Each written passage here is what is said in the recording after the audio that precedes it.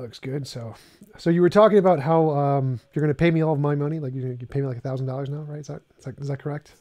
Yes, yes, that's exactly right. In fact, it's going to be twelve hundred. Yeah, that's right. Yep. And so that money is coming directly from me. I'm paying. I'm going to pay everyone else as well. yeah.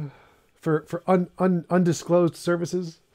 Yeah, and I, I don't know if we planned on time stamping this one for yeah. someone that may find it in the distant future.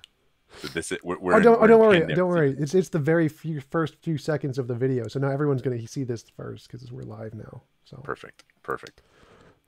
Uh, so okay. um, Aaron, how do you do you do you go by Aaron? Because I know Aaron likes Aaron, and it's really annoying. How do you how what do you like to go by? Okay, I I mean Aaron is my actual name.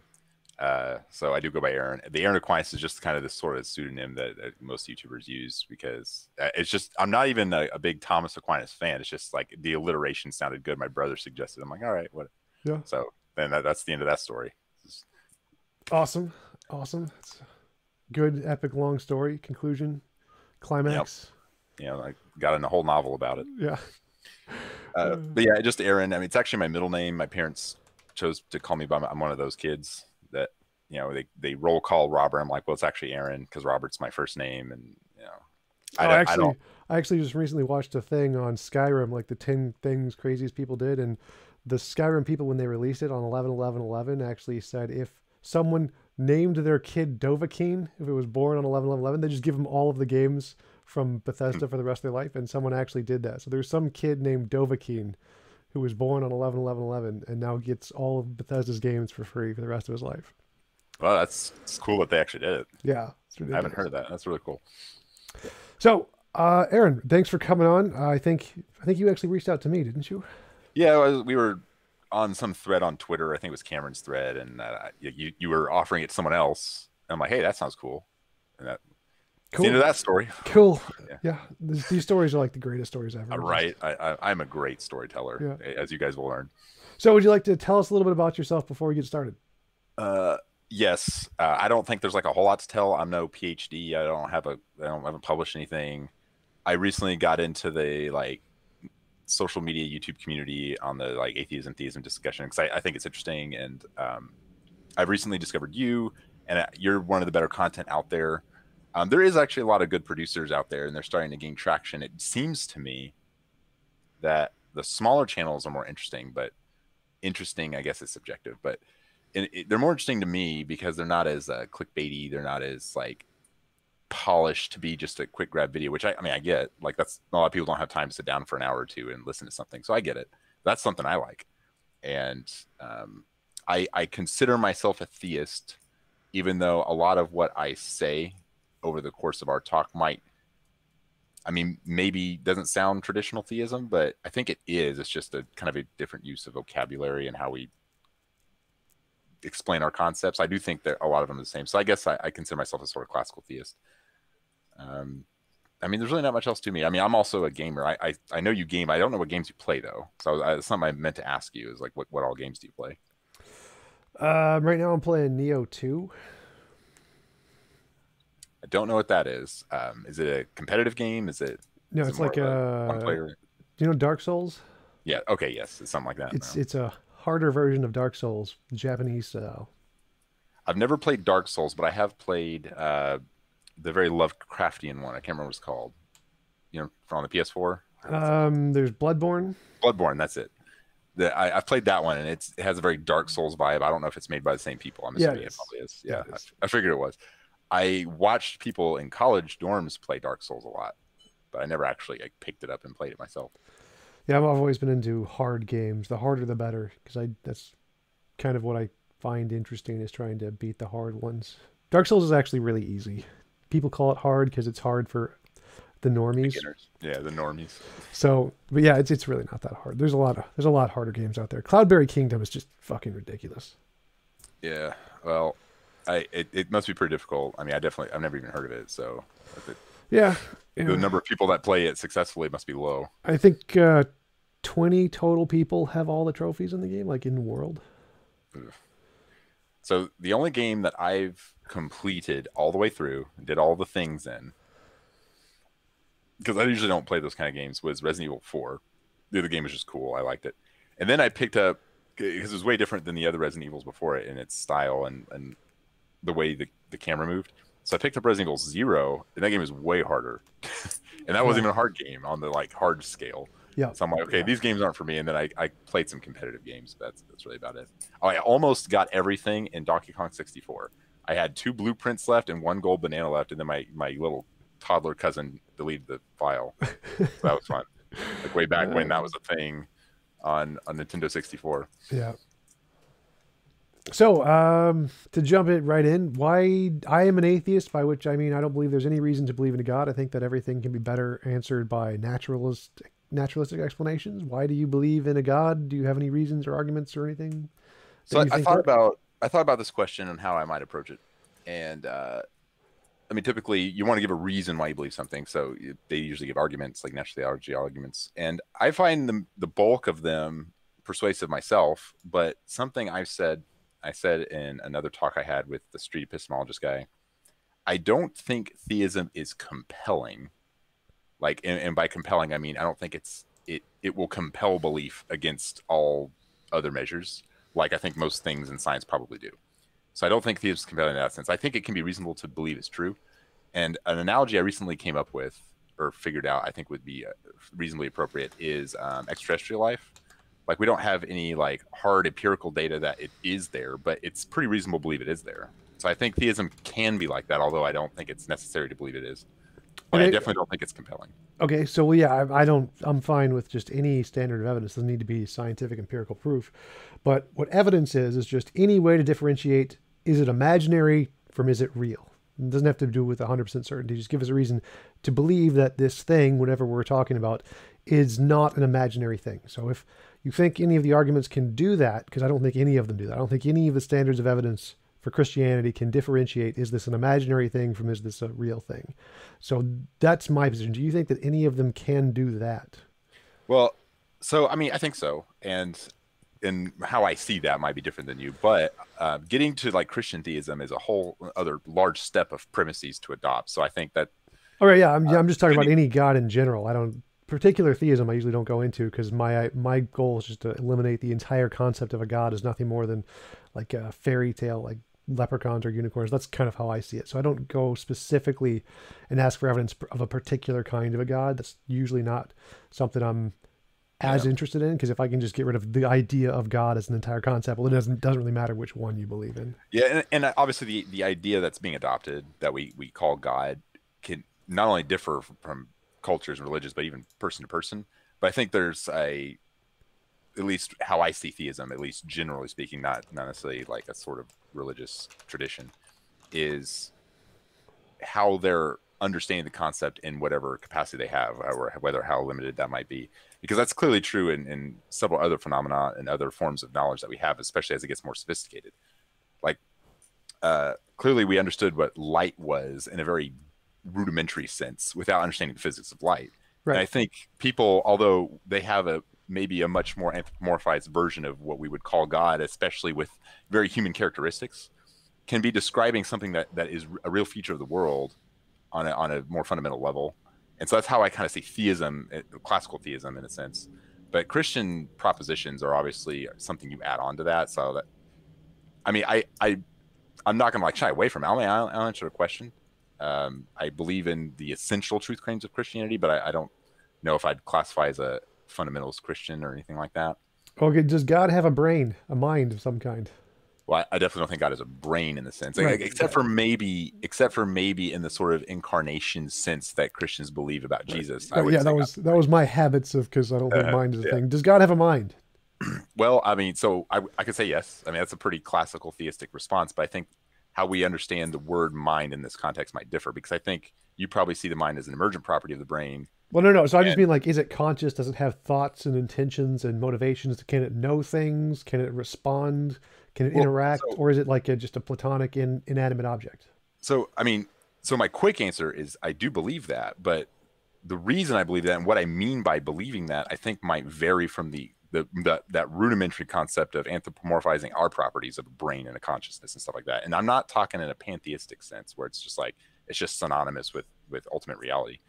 I think it, it's meaningful to make that distinction But my short answer is yes. I do think those things would be reasonable to believe about what we consider this ultimate reality that we're calling God or whatever the theist is calling it. So there, because you mentioned pantheism. Pantheism is a great example of just an essentially an eternal, all-powerful nature with no mind of any kind. It's just unguided natural processes all the way down, essentially. So why do you think there is a mind as opposed to unguided natural processes all the way down? Well, here's how I think. Um, here's how I think the question you're asking. Here's how I'm understanding it. Why would it be appropriate or useful to call it conscious or having a mind? Like, it's not that I think it. Like, okay, this thing is here, and then I have other evidence that like it has this extra property. I mean, that's one way to think about it. But I think it's like, why describe the phenomenon that we are inferring to as being conscious? Like, why would that be an appropriate description of what I believe is real? Um, and I think the properties that we're um, inferring from this, I believe, can be reasonable to infer from our own experience of what we consider to be a mind. And I don't mean that as a purely emergent property of the brain, because I think that's also a true fact we could use to describe it but that'll come down to what we consider the essential properties of a mind because if in advance the essential properties of the mind is a brain then just in advance it can't have a mind. So if that's what we're defining as a mind then i would agree with you it doesn't have a mind. I just don't think that's the essential property of a mind is, is a brain. Right uh, right. So but it is conscious. That's the essential property of a mind is consciousness. It has to have consciousness yeah, well i think um i think the the, the word mind I, I don't even know want to know if i want to say god has a mind. I mean that, like that's one way to this one vocabulary you can use. But I think God being conscious or God being personal would be just as a true description. I mean, you can say those are synonymous. I think having a mind has other connotations to it, but um, I think the essential properties of uh, of personhood would involve consciousness, intentionality, um, volitions or a will, rationality, things like that. Right, right. So, like, think, there's different. I think it could be this isn't an argument yet so much, but explain what I believe. This, I think it could be. I think it's reasonable to believe that the the sort of ultimate metaphysical reality, whatever we're calling it, it would be reasonable to describe these properties to that. I think I think it could be considered. I, I wouldn't so, say it's compelling, but so when we're contrasting things like pantheism, which says God and the divine are everything with no mind, to your view, you're saying that God does have a mind, as in it's conscious, as opposed to their view, which there is no consciousness there. I, I would say that would, that would be accurate. Okay, yeah. why?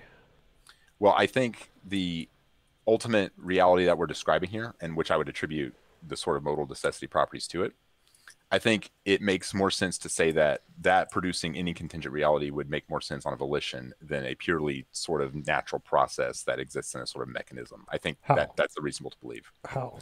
Well, the the how question it depends on what you mean by how. If you're asking, well, you, you said that the everything being created under a conscious volition is more likely than unguided no, no, no, processes, something like that. I said I said it would make it would make more sense to describe it as a volition on its essential properties of what we mean to say a volition, which is understanding that it would be the first cause of the process, than it just being a part of some pre-existing mechanical law that would just describe it necessarily happening, because otherwise it wouldn't be contingent reality. Like I, that's just definition. Like I have no idea what you just said. So okay, from my perspective, to, I don't want to throw a word salad out. So, so, so there's there's a God who has a volition, and the volition created the universe. And my position is is there is uh, reality, a natural reality. The natural reality has processes, and the processes created the universe. Which why is one more likely than the other? Well, I'm not. I'm not certain what you just described is necessarily essentially different. So I, it'll. I'm gonna. One one has consciousness, one doesn't well, you, what you were describing was a difference of consciousness. So when you say there's a process that brought about the universe, if we're whatever we yeah, it's just a, just a natural form. process, like a law of physics, essentially a law of nature. There's no thought, well, no volition, no consciousness, no well, intentionality. You, when you say a natural process, what's the difference between that and a volition?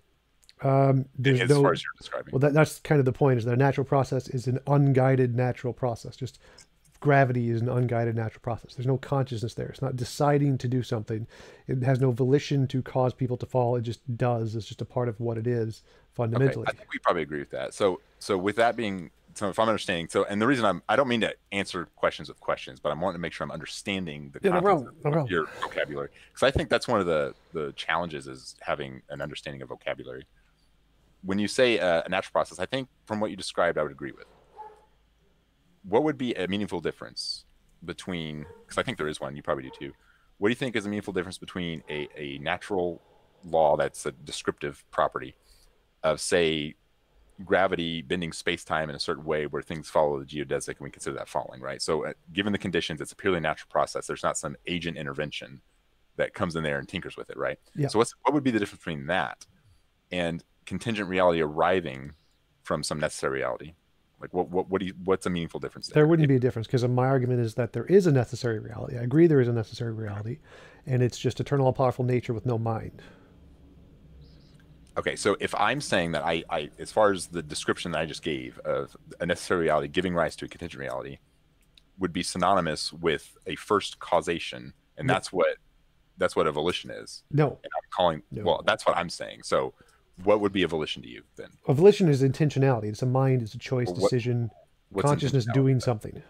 Well, so if if if a volition can a volition have causal relations? Sure. Yeah. Okay, so if a volition has causal relations, what what does that mean to you? What does it mean for a volition to cause something? Um, the the volition was the precursor to the event without which would not have happened. Okay, so that would be the true states of affairs, but what does it mean for the volition to to be the cause of the effect? The volition has to be or the thing that caused the effect, without of which it would not have happened make sure. I'm saying I'm not, I'm not certain. Maybe, that may have answered my question. I'm just not understanding it. It's like so. Like, so the volition is like there's a conscious actor who makes a choice, and if that conscious actor did not make that choice, then the event would not have occurred.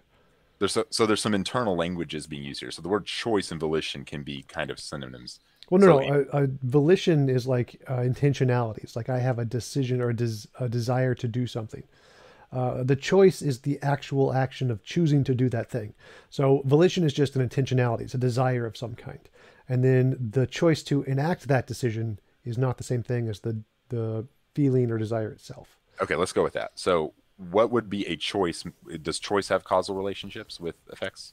Um, I would say so. I mean, I think all choices are determined, so I don't think there really isn't a choice. But yeah, yeah, and I think this might be where a bit of a breakdown is because, like, in the entire time, if if choice or how I'm using the word volition just isn't a thing in your background information, then it, none of this probably makes sense of what I'm saying, or at least it doesn't seem reasonable. Well, I can just grant it for the sake of argument. I understand the idea okay. of so. Volition. So, for that sake of argument, how do you understand a choice having a relationship with effects? Like, how does it cause the effect?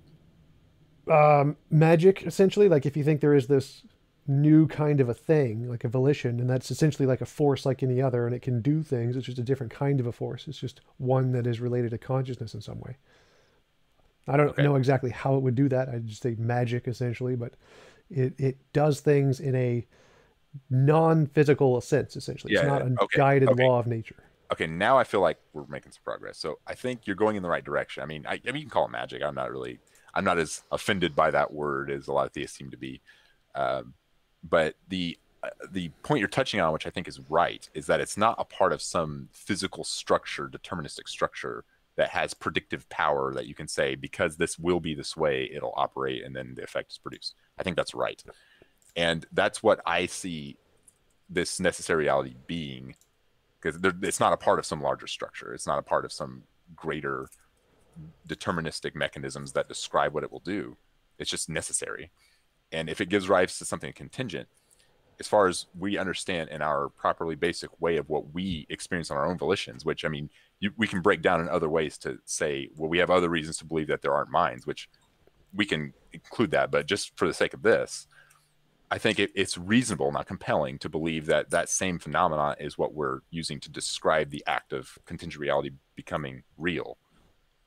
Um, okay, so I'm still not seeing anything in there that's actually an argument for consciousness. So, because I, I agree there is a necessary thing. Like, absolutely. The necessary thing is just nature. It's just more nature. There's no mind there. There's no consciousness, no volition. None of that is even relevant. Well, so as far so using the word nature here for a second, do you believe minds are a product of nature? Yes. So if it was a mind, it would still be nature, right? No, because the mind would be a product of nature. Nature is the ultimate thing, not the mind. Okay, so what is nature? Just essentially. Are we just using again, the word so, so I'm just, is ultimate reality? yeah, I'm just using the distinction here of a, a, mindless nature and a minded nature. So, what is at the core? Is it just a mindless thing or is it a mind thing? If it's a mindless thing, that's just naturalism, essentially. If it's a mind thing, then that's supernatural. Supernatural is essentially synonymous with a non physical mind doing stuff. That's what it means, essentially. So, if there's a non physical mind doing stuff, that's theism essentially. And if it's just a non-mind unguided processes, that's naturalism.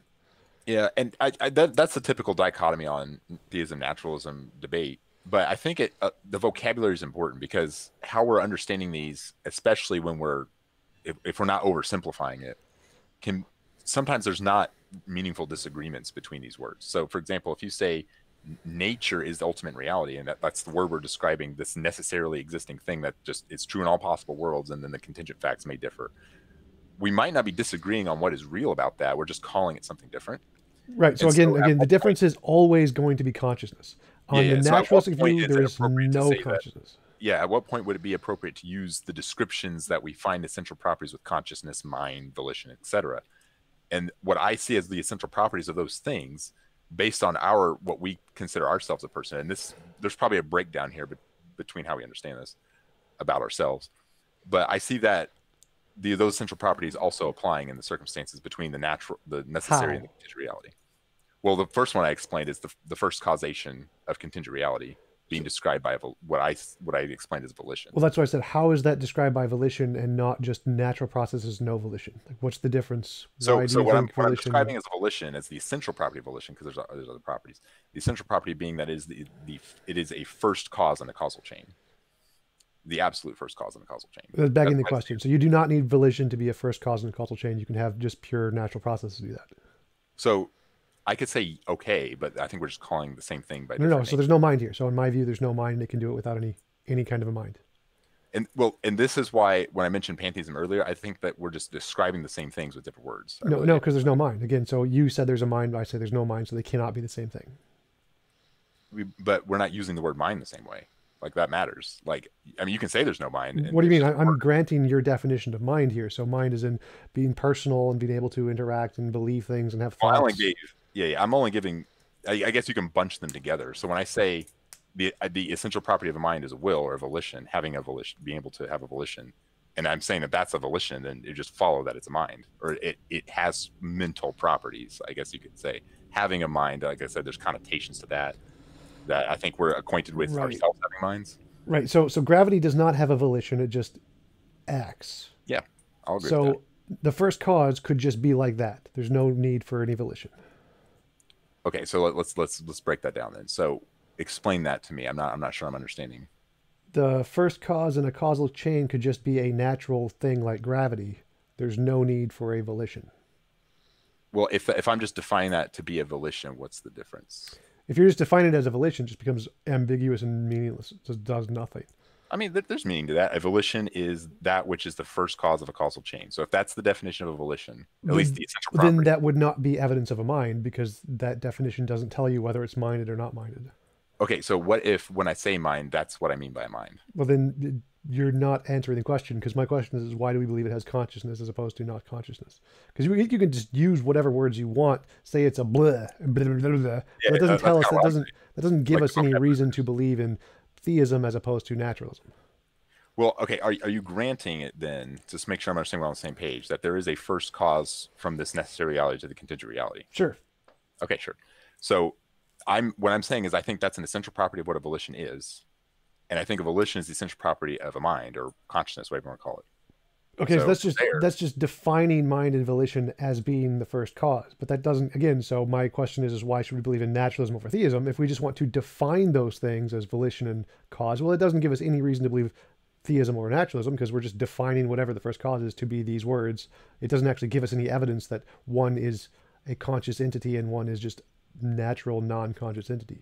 I'm I'm trying to get to the root of what is meant by the things that are explained by, I think, in good good faith explained by most theists that are using more rudimentary rudimentary vocabulary because like I mentioned in the other example about light, I mean, you can explain or know where light is without knowing the physics of it. And right. I think this these are the essential properties of what this the, the mind or God is when we call it theism. And a lot of the time, I think it's well, specifically with you granting a necessary reality, which is not a very common thing granted by atheists. Well, actually, think, actually, it is. They just use different language for it. Yeah, well, that's how that's where I was going with that. Is I think a lot of the time we're agreeing on a lot of things with different vocabulary that doesn't make the debate progress very far and that's where I was trying to get at with a lot of the breaking down of these words Well, because right, right. That's that's the what is the fundamental difference is one has a mind, one doesn't. So the naturalist or the atheist, whatever, it doesn't matter what language you use, they hold the position that there is no mind at the ultimate necessary thing. No mind. The theist holds there is a mind. That is the difference. One So, has consciousness, one does not have consciousness. Yes, and another way to explain it is we're calling one's calling it a mind, one is not calling. No, it no, a no, no. There's not calling it. This is an ontological difference. One believes Well, there is a think there is thing that has yes. awareness, and one Yes. believes there is not a thing that has awareness. So yeah, yeah, no, I'm we're, we're on the same page, but I think it it will break down to the the things that we're agreeing on, and like I'm calling it a mind and you're not. Well, Like, calling it, what we call it doesn't make a difference because we, we believe there is an ontological difference. One believes that there is a thing that exists that has a mind and is aware, Well, so and one believes there is not. From what I've what I've described to you, what differences do we have? I have no idea because you haven't actually given any differences. You've just defined your terms into existence. You just haven't you haven't given me anything. So that's why I said in the beginning, Correct. give me evidence of why I should believe there is a mind at the core, the necessary thing, and as opposed to a not mind. That's what I need to know before I can say there is a difference. Well, I haven't seen a difference yet either. Um, what I what I think a mind is is what I described. I think it's having a volition, which is uh, a Okay, okay, but that, that doesn't help me at all. So, babe, if you by your definition, there is no difference. Uh, you're just calling everything a mind. By your definition, there is no No, I- well, I- non-mind. well, I don't think that follows. So that that's going to be the difference between us then. What, what's what's a non-mind? Well, obviously, any effects of a mind wouldn't be a mind. Oh, okay. Like, like at least in a contingent sense. I mean, I think obviously. Okay, but object effects of a mind isn't an ontology. Tell me what is a non-mind that isn't an ontology. a non well a non-mind would be any uh, reality that's whether it's an effect itself or a, a cause and effect that isn't the first cause or doesn't have the ability Okay, that's that's be begging the question because now you've just said the first cause can only be a mind. So tell me what is the difference between a mind and a non-mind? the difference so what i what i what i just described there Was Like begging the question. You just said everything that isn't the first cause is a non-mind. okay okay uh, let, let me let me rewind for a second. So i defined a volition as the essential property of a mind. So whatever is whatever ontically has volitions would be would at least have properties of mind whether you want to call it a mind or has a mind. I, I don't really find that super meaningful. But if that's the essential property of that then whatever has that and produces effects that aren't themselves first causes of causal chains just like you said by definition i mean you're calling it question begging but i'm not putting it in a premise to a conclusion i'm saying that's the contents of the words i'm using is R- that Right, right. I understand that, but so everyone who uses the word mind to mean consciousness does not use it in that way. So they don't care. Like you're No, just, I you're think just you're right about that. No, I think you're right about that, and I think that's a. I, I I'm I honestly don't want to impute. well, well that, that's what that's what I'm asking. So I'm using mind in the classical sense, consciousness. Don't don't use mine in any other sense. We have to use the words in the way that most people use them to try and okay. So make it meaningful to the audience. mind is consciousness. What's what's consciousness? I don't I don't know if you told me what that is. Uh, or if you awareness. Awareness. Awareness. Yes. So so it uh, awareness isn't consciousness. Consciousness is having awareness. No, no, they are literally the same thing. Awareness is Okay, so, consciousness. okay, so what's awareness? Yes. If you're not going to question beg, what's awareness?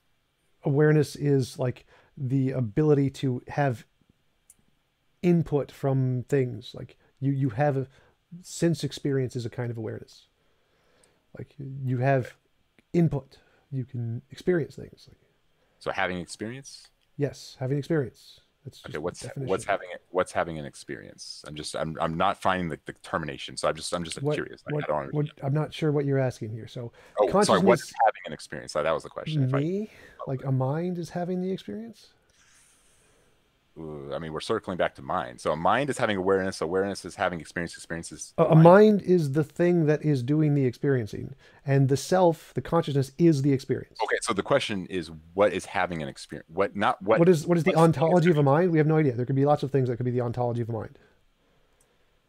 Okay, that might be my question, but let me let me just phrase it differently to make sure we're understanding each other. So, what does it mean to have an experience? What, what does it mean to have an experience? Like, Yes. I, I don't know the correct way to describe that. It's qualia. It's the fact that we have one. That's what it means. It's it is there is a input that we can respond to. We we see things, we hear things, we think. There is a process going on there.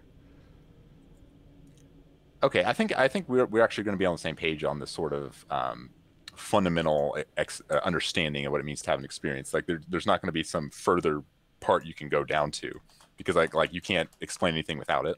So I think we're actually probably going to agree with that. And building from there, um, is whether or not I think here's the question you're probably trying to get at. So I'm understanding it is like can we say that what I'm the necessary reality can have experience? Well, no, it can. I grant it can. I'm, I'm saying, do we have a reason to believe it does? Like, I have experience. This cup does not have experience. Which Oh. one is the ultimate necessary thing? So I want to make sure I'm, I want to, I don't want to misrepresent you. So when you say it can, you're saying it's possible. Absolutely, it's possible there's a God. So, so there, there's a possible world where this thing has experience. Um, so modal logic has massive problems. It does not work. Possible worlds are conceptual; they are not reality. So, Okay, okay. Well, let's rewind. but then. so so you just going into going into modal logic has a whole bunch of different problems to it. So just want to stick with the basic question: I'm conscious. This cup is not conscious. Which one is the necessary thing? Like the cup or like me? necessary to consciousness. You mean? Like, No, I'm like not- the necessary grounds of all reality. With the first cause, essentially, is it is it like me? Is it conscious or is it like the cup and not conscious? Well, I would say it's like you, obviously. Like I, Right, I granted Right. that And. I'm saying why? Give me evidence Well, to I, believe that. I, I don't want to lose the point on that you just brought up here because um, when you like do do would I have to deny possible world semantics and modal logic to adopt what you're saying? Uh, no, most most philosophers who do adopt possible worlds reject the idea that of God for many reasons. Okay, so let's let's stick to that for a second. So would would they adopt what you just said that it could be possible? Would they would they agree with that? Okay, so they agree that there's a possible world where this yes, necessary they, they reject the ontology of Plantinga's argument. It's just false. So- I'm, I'm not using Matthew's argument. I'm not. I'm not. I'm, I'm preempting your argument here. So things that are possible are not possible in all possible worlds. The necessary modal logic of S5 logic does not work that way. So it's just it's false that Okay, so, if so it's I- possible I, that it's to just to make sure I'm understanding. Would I have to reject that to go along with what you're saying? Um, yeah, Plantinga's particular version, yes. You have you have to reject Plantinga's version that if it's possible, then it is possible, then it is necessary in all possible worlds. Yes, that would just be false. You, that has to be false. So Everyone, most people in philosophy grant that is false. Well, I'm just trying to understand what you're saying. So you're saying that the the the properties or the necessary property that he's explaining being true in all possible worlds, you're saying that's false? The fact that it's possible does not make it necessary. Well, that that's not what Plantinga said. Yeah, it Yeah, is actually. It's, Pla- Plantinga's modal argument says that if it's possible that there is a a being who is forget his terminology maximally excellent, then it is existing in all possible worlds necessarily. So it's, the possible necessarily goes to the it exists necessarily. I had a debate with this two one one debate with this on Ben Arbour, and the way it works is that if it's possible, then it does in fact exist necessarily, and that's kind of the crux of the ontological argument of Plantinga's version, which Okay. everyone rejects. So so do it do we you said I don't have to reject that possible means like the, the possible world semantics works. I, I, I don't have to reject that. Possible world semantics is again just a semantics. It's just a way of describing It's, things. it, it's another way of describing other facts about propositions. Yes. yes. So uh, we're on the it's, same page. it's just a version of logic. Yes. So what it means to say possible in, a, in an ontic sense, in a, in a No. No. Possible is purely epistemic. You can't say possible in an ontic sense. Okay, so Ontic, let- ontic is I'm like not- ontological means what's existing. Yeah. So so you're saying you, oh, hold your claim. I want to make sure I heard, heard you right. Po- possible is only epistemic. Yes. Make Possible sure I heard that epistemic. Possible means we can imagine this existing. Okay, all right. So I, I do agree there there's obviously an epistemic nature to the word possible, but I'm not sure that that only follows. At least I'm not saying I'm agreeing with that yet. So I want to make sure I'm understanding that. So the the the possibility of say, let me think. Uh, would it have been possible of the, contingent facts of history? Could they have been different? Uh, conceptually, yes. Is that an epistemic claim? Yes. Conceptually, epistemic. So like like Al Gore could have been the president in 2001. There's nothing there's no contradiction in that statement. Yes. Conceptually, this means in our heads we can imagine this being the case. Yeah, but is the is the content of the proposition coherent? Does it break any rules of logic? No, but again, that's all conceptual in our heads. So that's all epistemic. Well, I'm not saying that that itself is like platonically out there, right? So when I say ontic, that's not what I mean. Right. I'm talking about like the maybe the word ontic may have been inappropriate. I'm talking about logically possible. How about that? Yeah, it's logically possible. Okay. All right. So if something, I think that's what Possible World is addressing. So if something's logically possible, it's a description of a different reality of contingent facts that if they were true, then that's that world, but they're false in this world. Yeah. Okay. All right. So we're on the same page there. So is necessarily true propositions true in all of them? No, that's like sort of yes, sort of no. So necessarily true propositions in modal logic, which is a language, mm-hmm. are true in the language of modal logic. Are there other logics that reject that? Yes. Yeah, that's implied by what we're saying. Yeah, yeah. So so so does modal logic describe reality? No, it's just a language. So the other languages could be right and modal logic could be wrong. Oh, so even though describe reality, um, so we, we might agree with that, but I'm not sure what you mean. So so like modal logic is a language. It's made up by humans. It's just like English. It's a formal mm-hmm. language, but it's it's a language. And in modal logic, anything that is necessary is true in all possible worlds. That's just what it means by the definition. But is it actually true in all worlds that exist in reality? No, those are two yeah, separate things. what it's saying. Yeah, okay, we're, we're on the same page there. Sure, if that's what you meant by that. So, so like modal logic doesn't describe reality. It's just a language. That's well, not sure. Okay, but uh, like. So, so when we say modal logic, if it's only like if something's true in all necessary or is necessarily true and is then true in all possible worlds in modal logic, that doesn't mean it's true in reality. Like there could be a possible world, for example, that exists in reality which does not conform to modal logic. Okay, okay. Conform so, to quantum logic or okay, okay. logic. Let's, uh, let's let's back up for a sec. So, I, I agree with the, the language dichotomy. I agree that's all true. Um, but with saying describing reality, it's not an emergent fact of the reality we, we observe that we describe because obviously we're describing things that are false with modal logic. So I mean, we're going to be on the same page there. But when we say something is necessary, is, is there a, the, the, use of maximal description, which is all the propositions that are true, or well, that's case, that's possible. that's the part I'm saying is that okay. the modal logic cannot describe reality exhaustively. It doesn't work. I mean, it's not trying to. Like, I, at least I, I've never heard someone claim that. That's the point. So well, if you have a, that's what that's what the all possible worlds thing is going for. It's trying to say that if well, it can't exist in all possible worlds, well then it can't exist in reality. Okay, let me let me try to explain how I understand it, and okay. we'll see it. There's so because uh, I don't know if it like again this might just be like how people are presenting it. Um, if you say I don't know if you're familiar with Pruss, but Pruss uses his big conjunctive contingent factor C yeah, uh, Al, yeah, I'm familiar with Pruss. So, so Alexander Pruss, I think. yeah, we don't have to use his argument that he uses, but the, the concept of saying like you just have whether it's infinite or not, uh, the set of propositions that are just true. What we're that's just what we were calling actual reality, just a set of true this you can you can organize it into a set of true propositions. No, so, that's the part where I'm saying no, that's obviously okay, okay. false. So we Let's have there are propositions like Schrodinger's cat, where a cat is both alive and dead at the same time, and those propositions can equally apply to reality. So uh, dichotomy using standard logic and modal logic just doesn't describe reality. Okay, well, no, explain that to me. I'm not I'm not following. Are you familiar with Schrodinger's cat?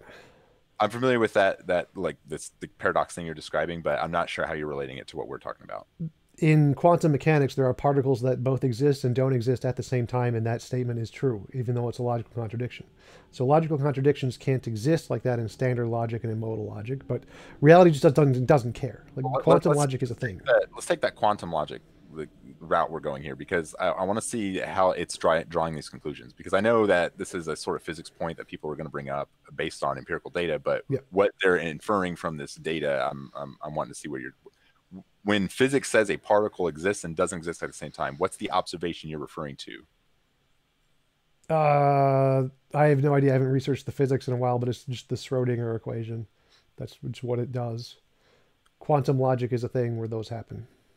Okay, so so why am I accepting this conclusion? Like because the, the, the physicists say that this is what they observed? Yeah, that's how science works. Is that you make a prediction, I, it's confirmed, you accept it.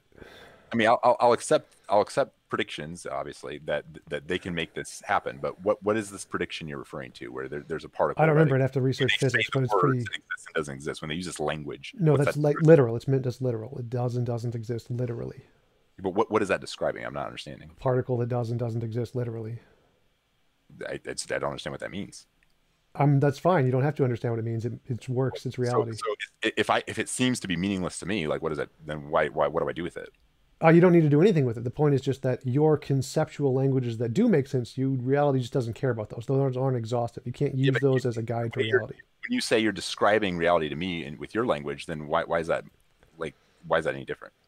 Like I, you, you seem to be experiencing. You're going off this qualia that you seem to. So so essentially, I'm arguing that your language system, which you believe can be used to describe reality, doesn't. It's incomplete. It doesn't give us anything well, about reality. It's just a language system. Is that inference based on some qualia of saying that there's a, a particle that we a qualia exists and doesn't exist? Is that our ultimate like inference that we're making? Uh, I'm not sure what you mean. You... Okay, okay. So so why think that? Because there's an observation. Why why are we trusting this ultimately? Like I'm not I'm not following the this. It makes this testable logic. predictions. So if it makes testable predictions, we have reason to believe it exists. It's true. Why? Like why accept that? Because we need some way to differentiate between is something imaginary and is no, something. No, no, I accept that, but I'm, I'm I'm trying to get to the point where the conclusion that we're drawing from this. Why why are we thinking that's meaningful? Because of prediction on how we're interpreting that data from our experience of that day, which is like the quality or whatever you want to call it. Um, that's how science works. Okay, all right. So, so what's this prediction that you're referring to, where there's a particle that's existing and not existing? That's, that's that you, you'd have to Google it. Google the Schrodinger equation to figure that out. Like I don't remember the physics, but it's the Schrodinger equation.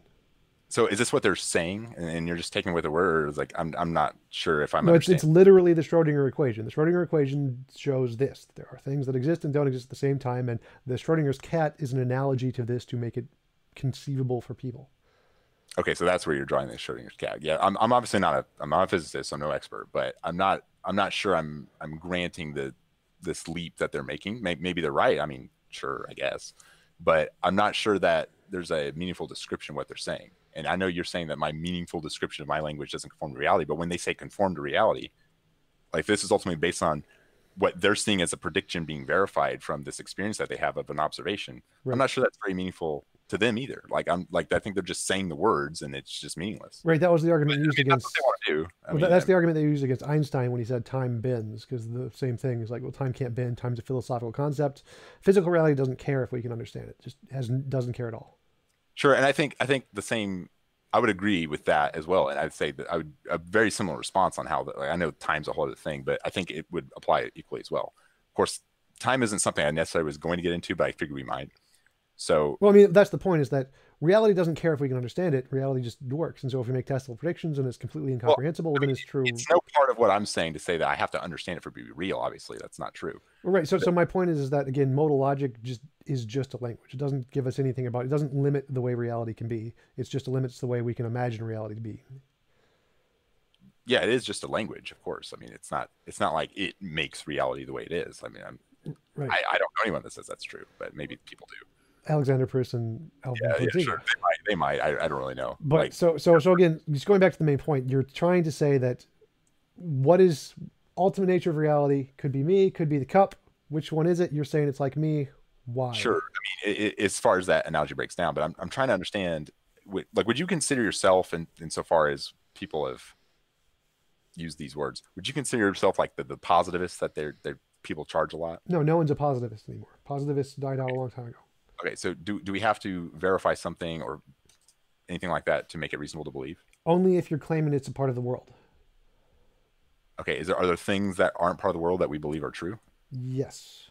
Like like what? One plus one equals two. A equals A. Bachelors are unmarried.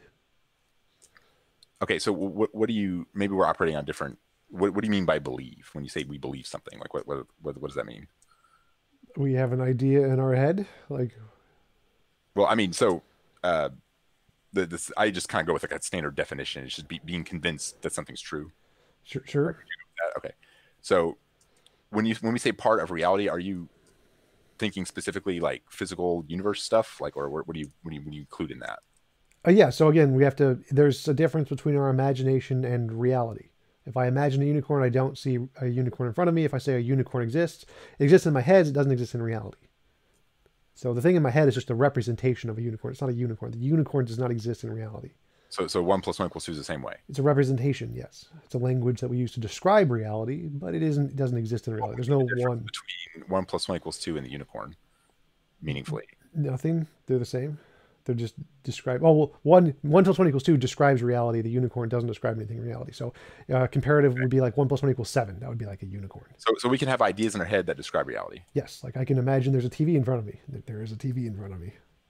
Sure. Okay. So when we say so if, if, if you say that God is an idea in the mind, obviously that alone wouldn't say that there's not a God Right, everything is an idea in your head. So Okay, when okay, all right, so we got past that. I'm so just so you have to go like one step further. So is it just an idea in your head, or is it also something that exists in reality?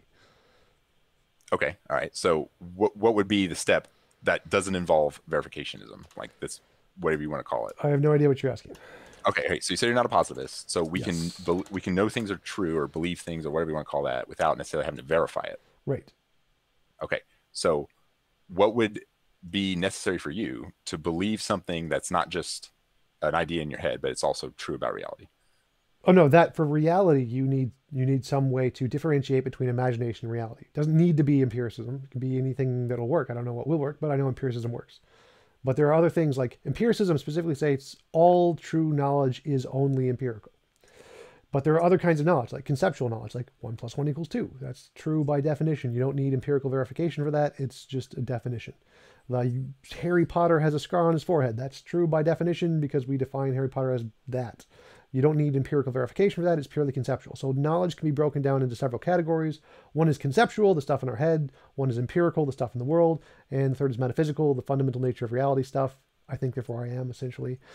Okay. and so when you say the world, I'm, I want to make sure I'm understanding your words here. What, what, what, is, what's all the world? That's not this metaphysical reality that you're referring to because you separated Well, those. met- metaphysics is everything. Yeah. Empiricism is just the stuff we can verify is not imaginary. Metaphysics is everything, is the fundamental nature of reality. Is just the stuff we can verify is not imaginary.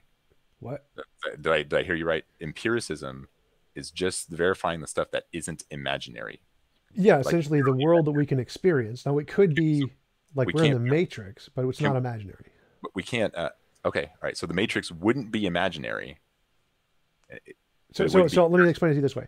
If I imagine a unicorn, I don't see a unicorn. Mhm. There's some difference between these two things. We're going to call this one the internal imaginary. We're going to call that one the external. We don't know what their ontology is. Maybe we're in the matrix. Maybe we're all in an idealistic dream, like in Hinduism or whatever. Doesn't make a difference. There's some difference between this and that. That's the external. This is the internal, and we need to differ a way to differentiate between the two. Is any particular thing I say exists? Is it one of these things, or is it one of those things? okay, I'm following. So, So- with the so if you say- with empiricism as part of the world. I didn't say anything about empiricism in that. No, no, but from what you said before, because you were you were separating the, the world, the word the world, Right. with metaphysical reality, and Well- empiricism verifying what is real in the world. So I'm trying to I'm trying to draw the steps here. So, so remember, so we have the internal. This is the this is the conceptual, and then we have the external. That's the empirical. So we use empiricism to differentiate because we need some way to differentiate between these two, and that's what empiricism does. Metaphysics is a different category. That isn't isn't isn't isn't involved in the system yet. All we have is the conceptual stuff in our head, empirical stuff in the world. Okay, okay. So what what was that? Explain that metaphysics metaphysics mm. dichotomy again with respect to what you just said. I'm not sure I followed that. Metaphysics is I haven't explained that at all yet. That's just I was just Okay. putting that in because it's part of my system, but it's not really relevant to this conversation. It's about like absolute certainty and how to differentiate between the fundamental nature of reality as opposed to the next step in reality. It's, it's not part of the conversation necessarily. So all we need right now is mm-hmm. is like there's the imaginary stuff in our head and there's the stuff that exists in the world. And if which one you're claiming the God isn't just something in our head, it's something in the world. So Well, you need okay, well, some well, let way. me stop you there for a second because I'm not sure I'm saying that because I'm trying to get an I'm trying to understand exactly what your vocabulary implies. Okay. So I'm not sure I'm saying God is in the world as you just described it because if the world is just the empirical oh, No, no, no. That that doesn't matter. So it's Okay, is is God just something we've imagined and made up and doesn't exist? Is anything other than our imagination? Yes or no? so I would say no. Okay, But so I you're saying it's in the world. That's all that matters. That's that's Okay, so if, if it's I guess that not would be a this, then it's one of those things. Okay, so I guess that would be a breakdown because I don't think it, it if it's not imaginary, therefore it's not it's not real other than existing in the world. I guess that would be our breakdown. Well, no, existing in the world just means not imaginary. That's all it means. That's I, I wouldn't accept that dichotomy. That that would be our difference. Hmm. So existing in our heads as, as somehow being just like an, if something fictional would that we would say doesn't have any real eh, description to it. I wouldn't include as merely being a part of the empirical world. Like I, that What? just wouldn't be. I, I don't even think the average theist would believe that. Like that's just No, no, no. I never said anything about the empirical world. Uh, Nothing about that. So there's there's Well, reality can and there's only know things imaginary. Imagination isn't reality. If I Let me- imagine a unicorn, there isn't one in reality. Let me- let Imaginary me means sure not reality. right. Let me make sure I represented you right. Did you say that what is in the real world, you use the word the world, we can only know empirically? No, no, no. That's that's never what I said. So so I just said sure I- if it's That's good. imaginary, it's not real. Unicorns are imaginary; they are not real. So, so if you want to say there's not in the world. No, no, no, no, no, no, no, no, Stop, stop. If it's in the world, it's real. That's that's it. Okay. And nev- not, this has nothing to do with empiricism. This has nothing to do with sure. physics. This is just there is the imaginary stuff and there is the real stuff in the world, and those are the only two categories of things. Uh, uh sorry if you hear typing. I'm going to write some of these down so I don't keep forgetting yeah, them. Yeah, no, no problem, no problem. I do that all the time. I'm typing right now. So, yeah. so, so this is this is just a very, very basic distinction. Last, repeat that last. There is the imaginary stuff in our head which isn't real, and there is the real stuff in the world which is real. That's just there's the imaginary stuff, not real. You said world, if it's in the world, it is real. You said that. That's just the definition. Anything that isn't only imaginary is real. So if God exists not outside of our imagination, He's real. Doesn't matter how He exists. I, I, have a question. Is there something that's real that doesn't exist in the world? Or are these just synonyms? That, no, no, the, the reality. It's just reality. So there's the imaginary stuff that doesn't exist in reality, and there's the stuff that does exist in reality. Okay, okay. So when you use the word the world a few times, what reality is just synonymous with reality. These are synonyms. Okay, yes. okay. So can we know things in the world or what's real? I think you said no. Let me make sure. Without empiricism. Possibly. You just need some way. To, the only thing you need to know about something in the world is a way to differentiate: is it imaginary and is it real? Any method that you can do that works.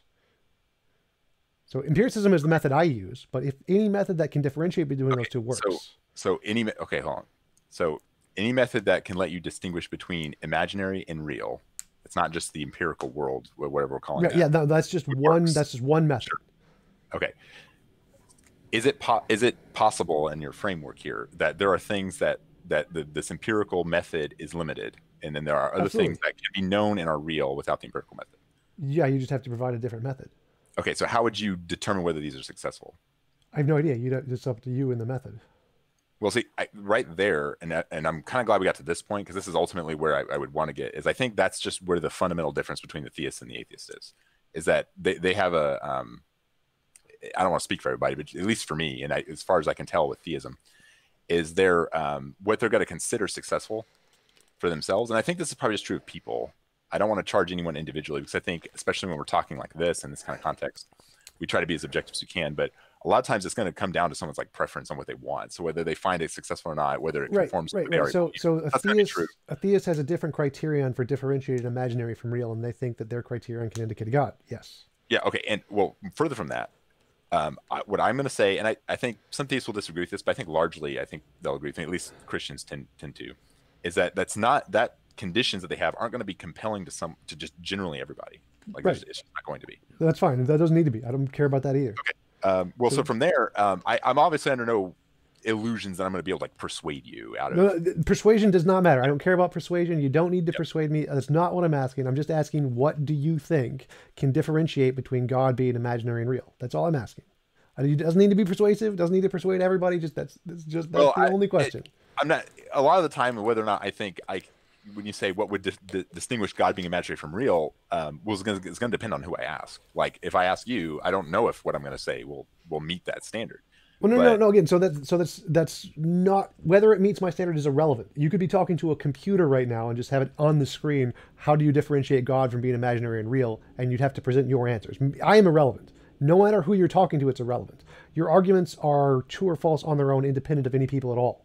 So yes, but someone's assessing whether they're true or false. There's always going to be a person at the end of the day, and like mm. even if it's a computer, someone told the computer how to do it. So no, no, no. So the people are people are irrelevant here. People, this is the part that doesn't matter. No, no yeah, one you're talking to matters here. All that matters is is you believe you have a way to show or to justify the belief that God is a real thing and not an imaginary thing, and then you need to present an argument for this. I, no so one I, who you're I, talking to matters here. That's so. My goal would be to show is if I said. I know leprechauns exist because I used a magic eight ball and it told me leprechauns exist. Well, we know that's a bad answer. That magic eight ball can't differentiate between what's imaginary and what's real because you could shake it and again yeah, do magic down. So yeah, if I can if I can show that whatever method you use can't differentiate between what's imaginary and real, then I show your method is false. Doesn't matter my standard, doesn't matter your standard, doesn't matter anybody's standard. If I can show your method can't differentiate between what's imaginary and what's real, it doesn't work. It's not evidence. And okay, that's okay. what my approach usually is. So you, I'm going to ask you for a reason. Tell me some way that can differentiate between what's imaginary and what's real. And you're going to present an argument, and I say that argument can't tell the difference. Here's why so it's not evidence. That's usually my approach in uh, debates. Well, I luckily for me at least, um, we don't have to get into the idea of a necessary reality because like a lot of times I have to kind of defend that. But I think you were right about the, the language barrier. But from that, like it, insofar as I'm giving my initial reason for believing that what we're describing necessary reality as an appropriate use of the words that I used before, it, it's just going to be the same arguments I gave before. Now, I it seemed like your response ultimately, because we obviously went in a lot of different directions, was that it's either just meaning it's not different from what you're describing, and I'm just calling it that, or I haven't added some extra property that you find appropriate to call to mind. Am I understanding you right there? Um, sort of. So uh, you've said there's a necessary reality. I grant it, and you call that necessary reality having volition because the first cause is volition, and you call anything that has volition a mind. So I mean, I can call anything that has weight a dog, and this cup has weight, therefore this cup is a dog. But I mean, obviously, it's not. If someone asks me, "Do are you holding a dog?" I mean, I say yes because I define this as a dog. Obviously, it's not what they mean. That's not okay, what they're okay. talking about. I, I follow what you're saying. Like, just like when, when you use the word mind in, in a normal like, conversation, people are going to attribute more things to it, especially a human mind. They're going to think a human mind. So I, like, when we're agreeing with that. But clearly, as far as like we're only empirically eh, acquainted with human minds, people can understand the idea of minds not being human minds. So I think we would agree with that. Like, right. they can conceptually understand those things. And what I'm saying is, I'm just pushing that. And I think the theists generally, when they talk about God as like the ultimate mind, as like, you know, whatever they might describe it as, is pushing to the essential property of what they see as being a mind. Without that, it is no longer a mind. Like that. That's all I was describing. And yeah.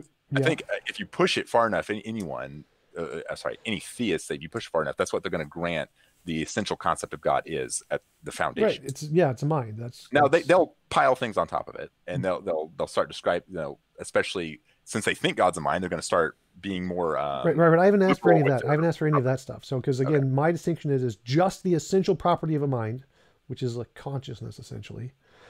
Why should we believe the ultimate nature of reality has that, as opposed to being a cup, which does not have that? Okay, okay. So we wouldn't say, as far as I'm using my words here, we wouldn't say that a cup is a first cause of something. I, right. I, I wouldn't say that. I mean, maybe you would. But yeah, that's not know. the question. So the question is, does well? The, the, first cause does not need to be conscious. I would say no, because it doesn't have that property. The first cause does not need to be conscious. Well, I'm saying that I'm saying that it does. So that's a difference. Yeah, why? So why would we go that. with it's conscious as opposed to it not being conscious? Okay, so what I'm I'm part. You I'm, you defining it that way isn't an answer. That doesn't work as an argument. So you just say okay. why? Give me a reason evidentially. Okay, so if we're just disagreeing on our, our use of words here, then then I guess for your sake, I we wouldn't call it conscious, I, I suppose. But like at that point, it's not really we're not really going anywhere. Well, no, again, I don't, I don't, care about. We're just using words. We have to use words in the contemporary way, the way most people understand them. Okay, so what am I missing just, out of consciousness? I, I, see. We tried to go into that. And we we went to the. Well, I mean, gravity does not have a mind. This cup does not have a mind. The so universe does not have a mind. The origin, the necessary thing, does not have a mind. I have but a mind. The breakdown that I'm I'm getting to, I get to anyway, is first causation. Now you're telling me first causation doesn't have to be mind, right? So what? Why? Explain. Why would it me. need a mind? Like, there's no reason it would need a mind to begin with. So I guess yeah, why, why like, would this this cup needs a mind? Like, no, it doesn't. Like, so, so if, I, if we're if we're using the, the, the vocabulary again, and you're saying I'm just defining it as a mind. If I'm saying okay, when I say mind, I mean something that has it's first causation. You say, does this cup have a mind? Well, no. So from there, no, no, no, no. Again, so you, you cannot use mind. That's that's off the table. You cannot use mind as first causation. That's not an option because the definition of mind in contemporary society does not mean first causation. It's not okay, what mind what means. Okay, then add the things things I'm consciousness. Consciousness means mind. Mind means consciousness. You need a consciousness. If you don't have consciousness, you don't have okay. mind. Uh, let me write this down for a second. So consciousness, if I'm I remember, consciousness equals experience. Yep mind is awareness of how do you explain it awareness of what just awareness is fine consciousness equals awareness. awareness. and then what was the what was after that we got to the qualia that, that's it that's it we'll just stop there consciousness is awareness don't well, know what causes sure. it. Don't care what causes it. Consciousness is any form of awareness. Oh i'm not saying what causes awareness. I'm saying what is awareness. It's, it's awareness. So, like, it's I, awareness. have to know what this means. It's the fact that i'm aware of things. I can see things. I'm aware of things. I can think. Those are all kinds of awareness. That's what awareness means. Okay I, i'm just this is for my sake so i'm understanding what you're saying. So awareness. Google the word awareness. Well I'm, in, in in the way we're discussing here i mean we can like i can google the word knowledge and that's not going to get to the well no i'm using awareness just in the classical definition sense knowledge or perception of any situation or fact. That's awareness. That's what it is. That's consciousness is that.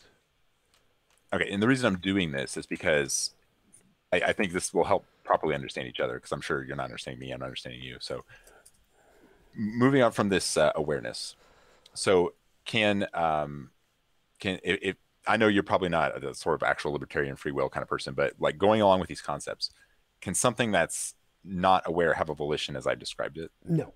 No. Okay. So is it a part of being aware to have volitions? No, that would be an extra thing. You can be aware without having volition, but you can't have volition without being aware. Okay, so what would be? Can you give me like a like an example, just so I'm understanding?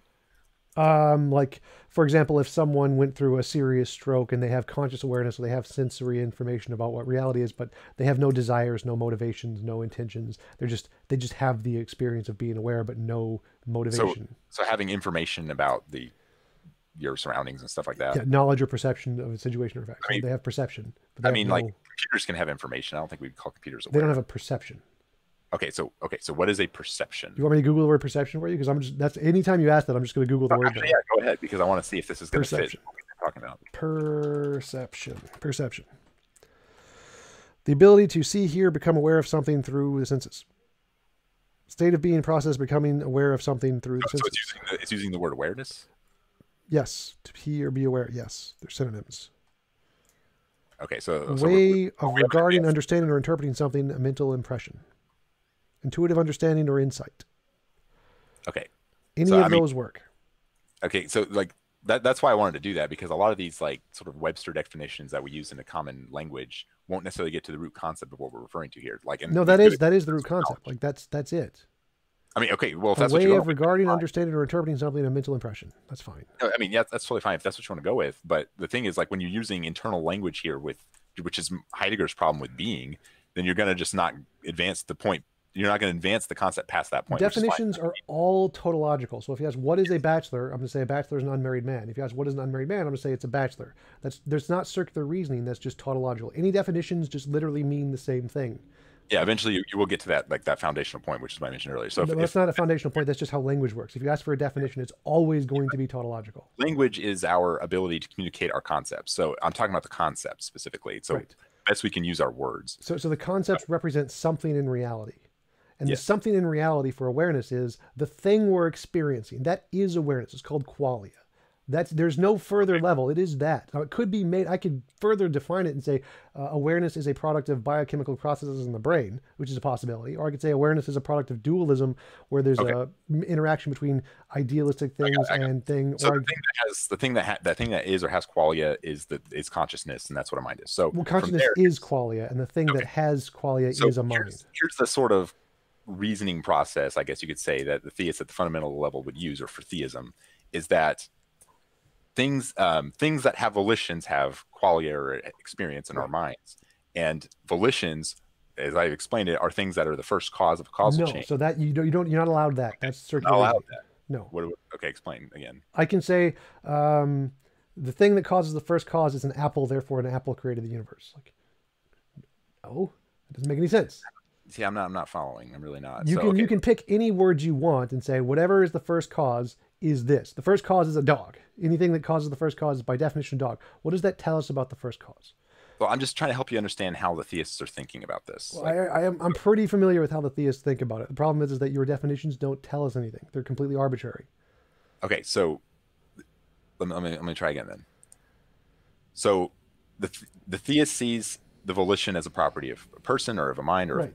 something having qualia. Right. And they, they see how they're understanding that. I mean, yes, you can disagree with that, but as being a first cause of a causal chain, and they see that as the true description of reality with contingent to necessary. Right. And so they're they're saying, well, this must be a property of a mind. Like right, right. I agree. And they're just that's the point is that they're wrong. Like when they think that the first cause has to be volition, they're wrong.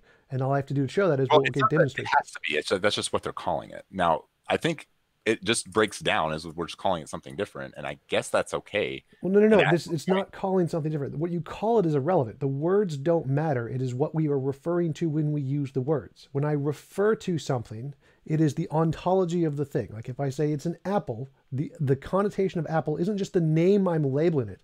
Apples have qualities. They're physical. They taste sweet. They grow on trees. Do those things does the first cause have those things?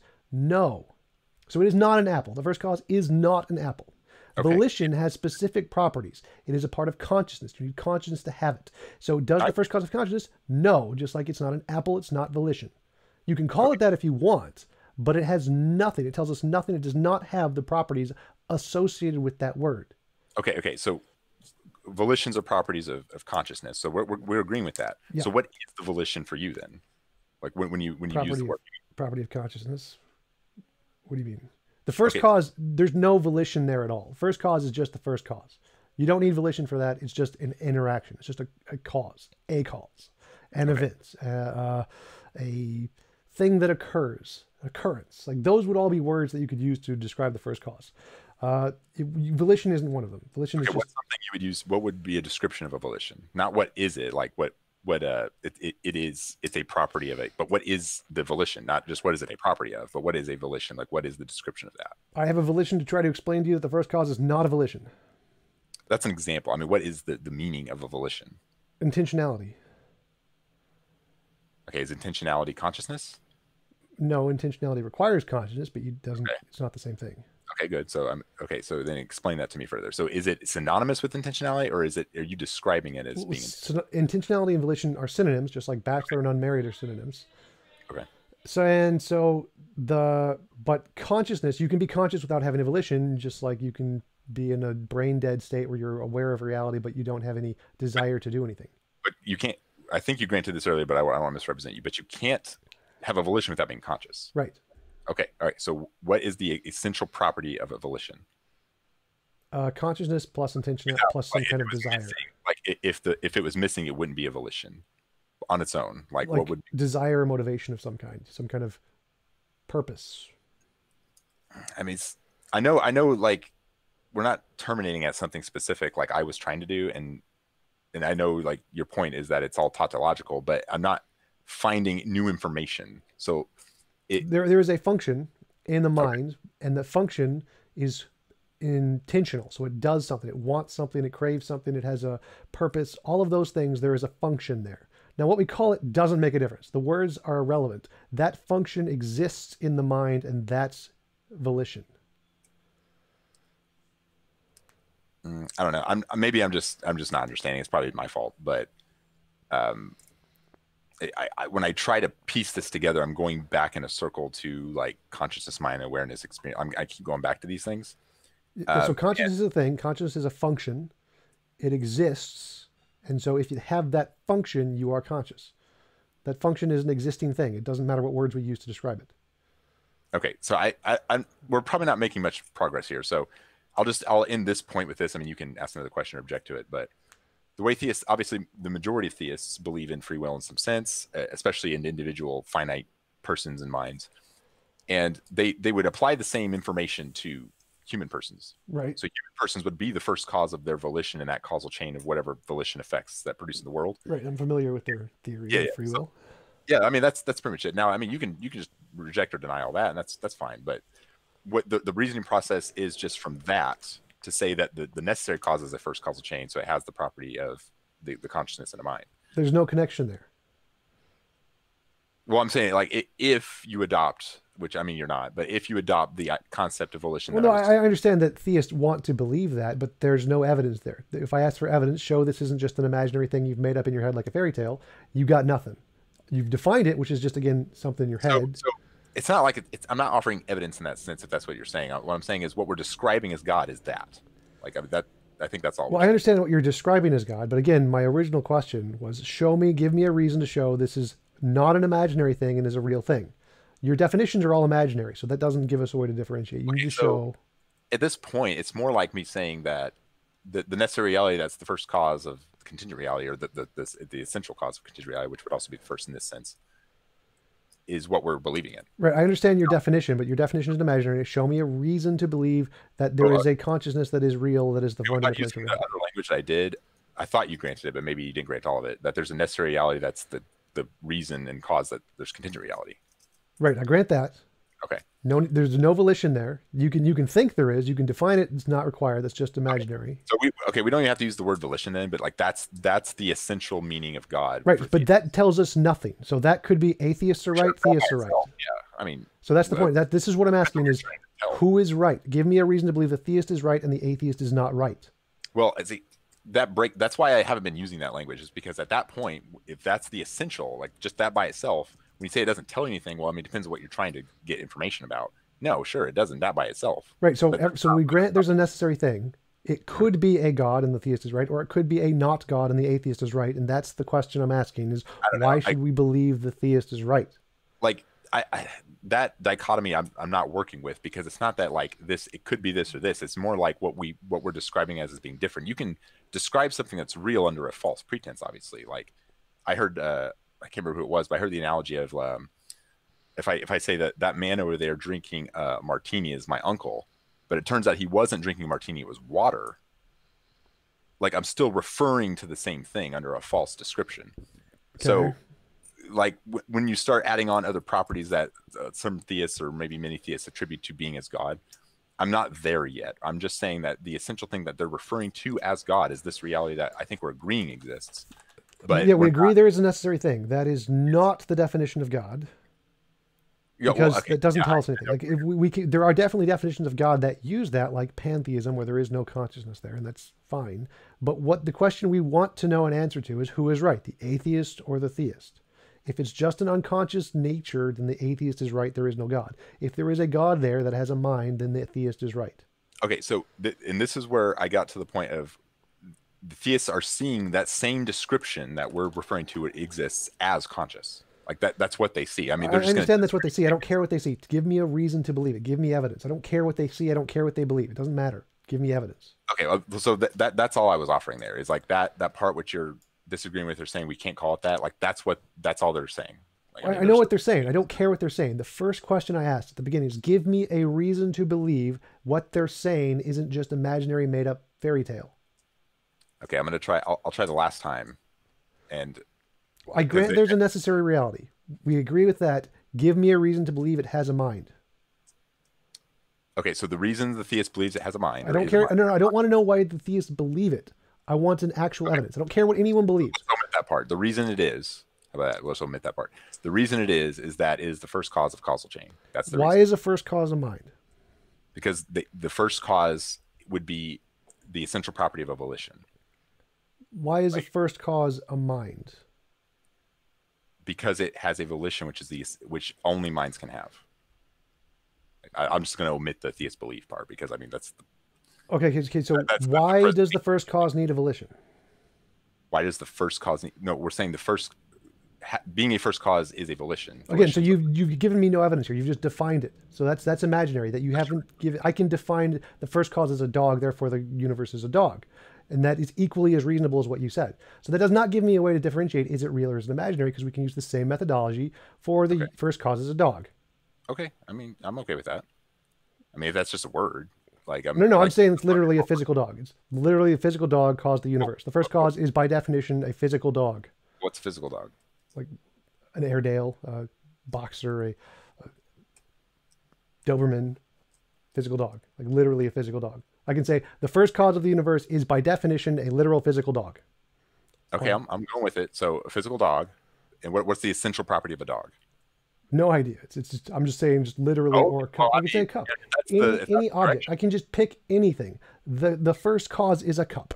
By definition, the first cause is a disc is this particular cup. Well, I mean, that that's the that's the interesting point that I'm going is like I gave the essential property of what I described, but I want to know what these essential properties are. Now, if it if it doesn't matter, essential essential properties are just essential properties are just descriptions of what the thing is. It's ontology. So this I don't know what the I could just I don't know what the essential property of this cup is. It has one, but whatever that is, this is just it's made of matter. It's electromagnetism holds it together. Whatever you want, just literally this cup is by definition the first cause of the universe.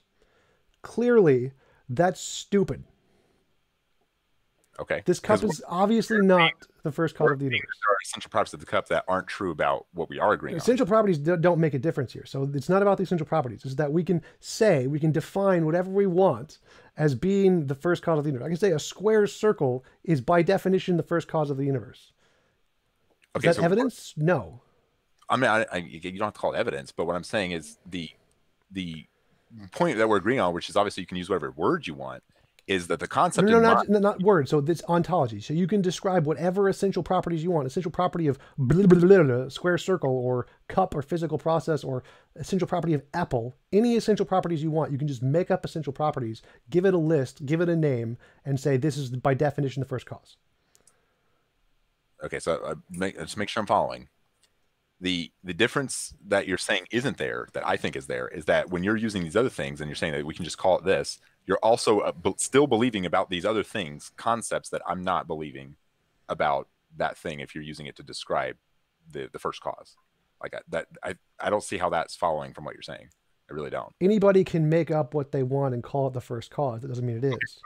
So when when I when I said that a volition, which you're saying has other things to it, is essential. The essential property of it is not those things. That's not how we're understanding it. When we when I said we were acquainted with ourselves as persons, that it is the first cause of a causal chain. It terminates at the volition or at the will or whatever you want to call it. Go ahead. I, I, I thought you were going to say something. Yeah, yeah, I was.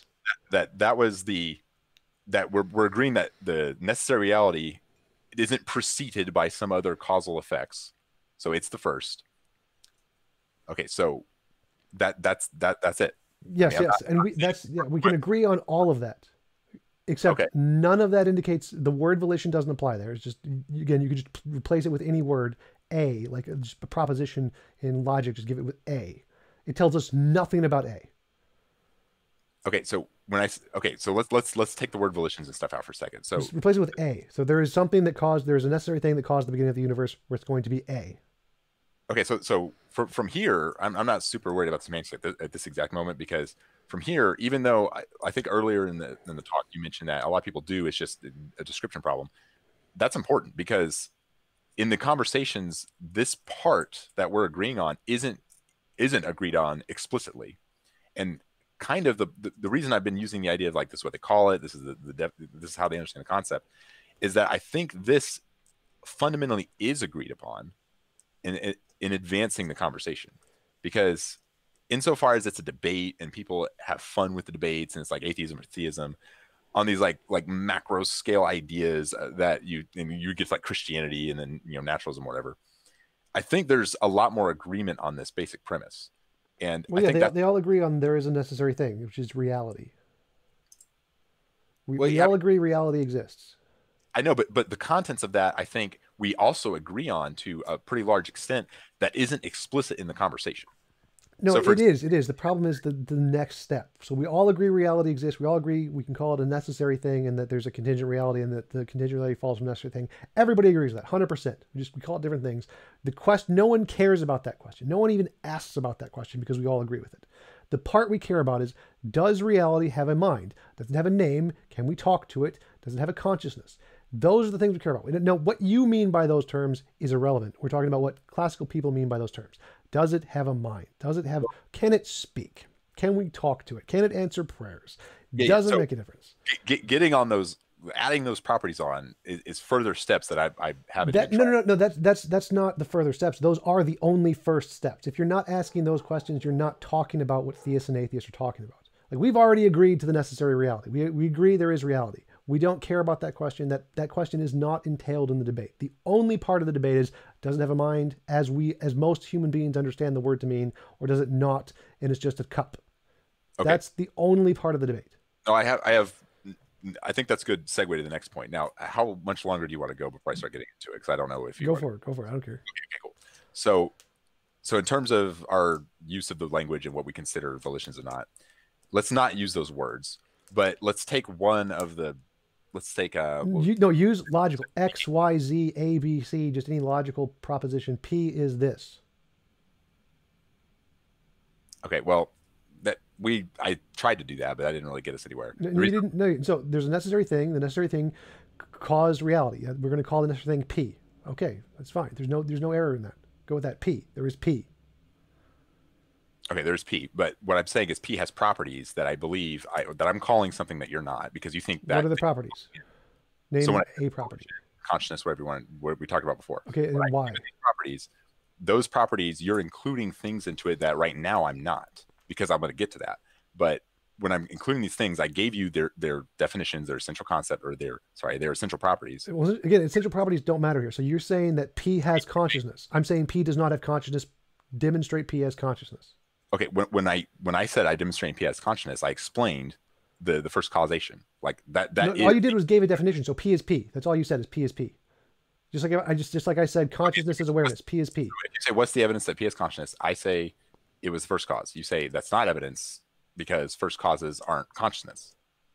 Like like like so, So, so no, no. So you're saying that there is an additional pro- property to P. P isn't just the origin of the universe; it also has consciousness. If it's just the origin or the first cause, if P is just the first cause, that's it. Full stop. You can add nothing else. Then you're Okay. saying P is let me break this conscious. if P is just the first cause of the universe, it has nothing else. You can say nothing else about it. That's all we can say about it so far. That's the only property we've added in right now. Why? That's how definitions work. So P is by definition the first cause. Then the first cause is by definition P. P is by definition the first. That's how P definitions work. definition- no, no. P is by definition necessary reality, right? The necessary reality is the first cause. Yeah, those are the same thing. Those, those will all be P. Those are all the same oh, thing. Oh, oh, okay. Well, so that might be a disagreement. So, so a first cause is necess- has to be necessary. That- We- yes, let's grant that first of all Okay, first. I'm not. I, I, I'm not granting that. That's what I'm saying. I was trying to make sure I'm understanding what you said. Okay, so so there's a necessary reality. It Yes. created the first cause, and that's P. Yes. Okay. Nowhere in that statement doesn't consciousness exist. Consciousness is not one of the premises in that statement. So. Sh- okay, sure, but we're saying that that's synonymous with a consciousness. If, if you say that's synonymous with consciousness, you're just saying P is P. So you've still added nothing in there to give me a cause- belief so consciousness. being a first cause is not synonymous, or nor entails necessity. It- uh, it's in, in this concept so far because you said sure. So it doesn't entail, entail necessity. So we have other reasons to think it's necessary that we're agreeing on. Okay. So it's necessary, and now this is an extra step. It's the first cause. So those aren't synonymous. Unless Okay. you want to say they are, then we're gonna have to rewind and No, no, that's fine. We can say there's Okay. necessary and first. Yeah, okay. Those, though, that's P. It's necessary and it's the first cause. Two separate properties. I, Yeah, I uh, would be that's P. typing a lot of this, but I'm also trying to think, and I'm not very good at that. So thinking and typing at the same time it sounds weird, but thinking about different things. So, so with that, we're saying that if it if it's a first cause, the only thing as far as we're describing here that that's first causes are minds.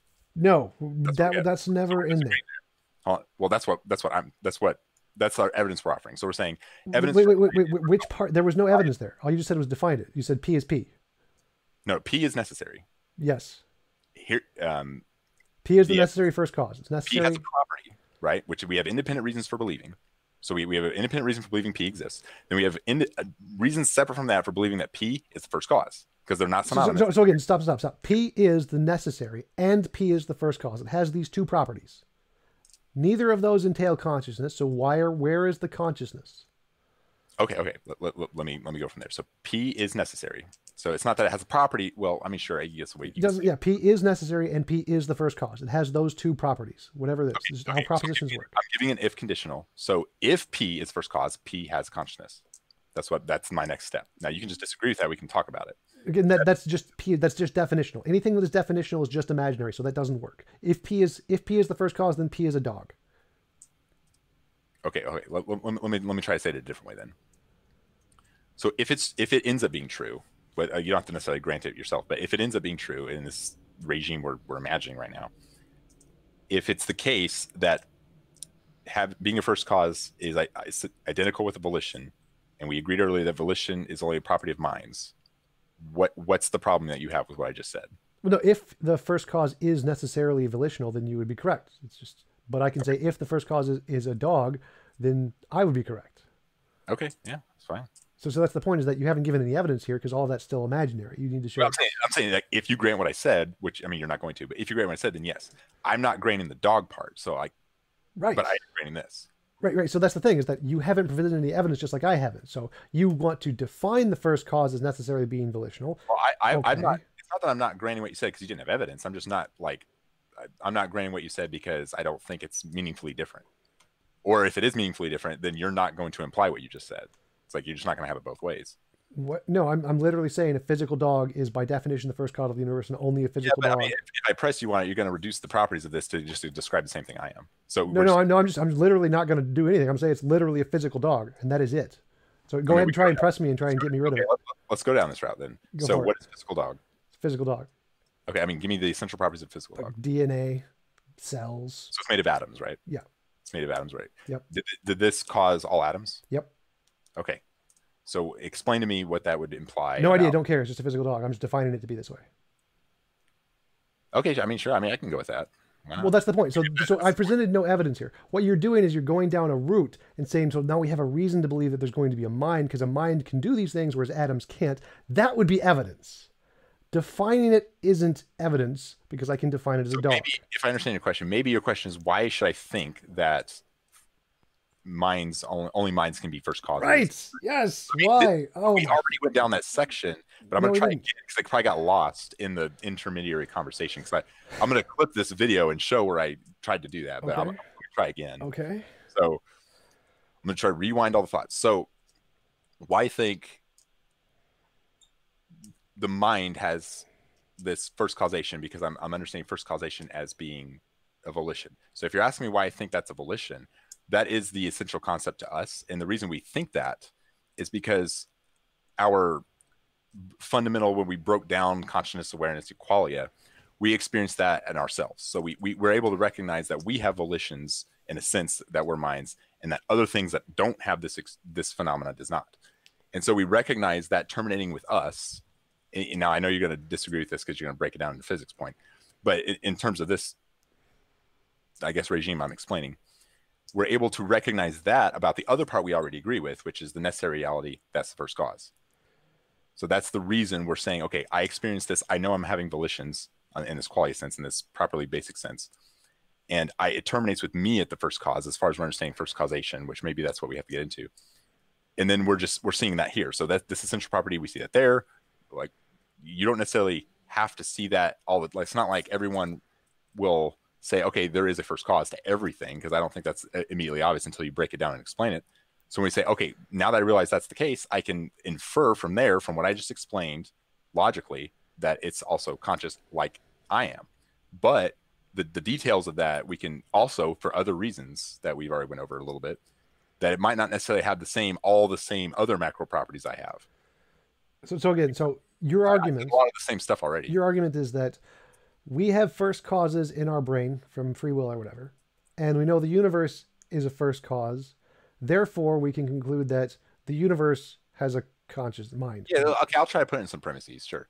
So, um, I mean, so the the the thing I just described about us would be an evidence for a premise. It wouldn't really be a premise. I'll give you the premises, and then we can go over like the the individual reasons to believe the premises. Right. So, uh, I guess first premise, and I'm just I'm thinking of this off the spot, so it might not sound as um, precise as it probably would be if I sat down and wrote it out. But premise one would be um, first causations are volitions. No, no, no. That's that's a crap. So so start with this. It seems like this. We Yeah, you- have we premise one. We have first causes in our volitions or minds, or whatever. Doesn't Let, me, let, let me. So you're probably right. I just might have a better way to word it. So premise one is we we have we have volitions which we experience as first causes within our minds. Sure. That- yeah. That's two premises. So we have first causes in our minds. We have our we our volitions. we have volitions. We have volitions. We have volitions. volitions as being for yeah. We, we can separate those into two premises. Sure. So we have volitions. Premise one. Premise two. We have we experience volitions as Our volitions are our first causes. Our volitions are first causes. well. That might be a different premise. So what I said, you can tell me why you might not like this, but you, you said volitions and first causes are synonymous. Anything that has a volition is a first cause, right? yeah, yeah, we can go with that. So it's volitions are first causes. Okay, yeah. Yeah, let's just go with that. That sounds simpler. Okay. So and then the universe, the uni- or reality or whatever, the universe has a first cause. Okay. Conclusion: the universe has a mind or a volition. The, the the universe was caused by a volition. Okay. So so are you going to object to like equivocation or what are you going to try to object to here? I just wrote it down. I'm thinking about it. Okay. Okay, so we have volitions. Volitions are first causes. Okay, the first thing is no, volitions are not first causes. So that would be I would grant premise one, reject premise two. Okay. I mean, yeah, that's kind of where we've been at. Um, premise three, the universe has. I can grant. Well, no, I would actually, because premise three would be, even if the universe has a first cause, reality doesn't. So the universe began at the Big Bang. That's granted.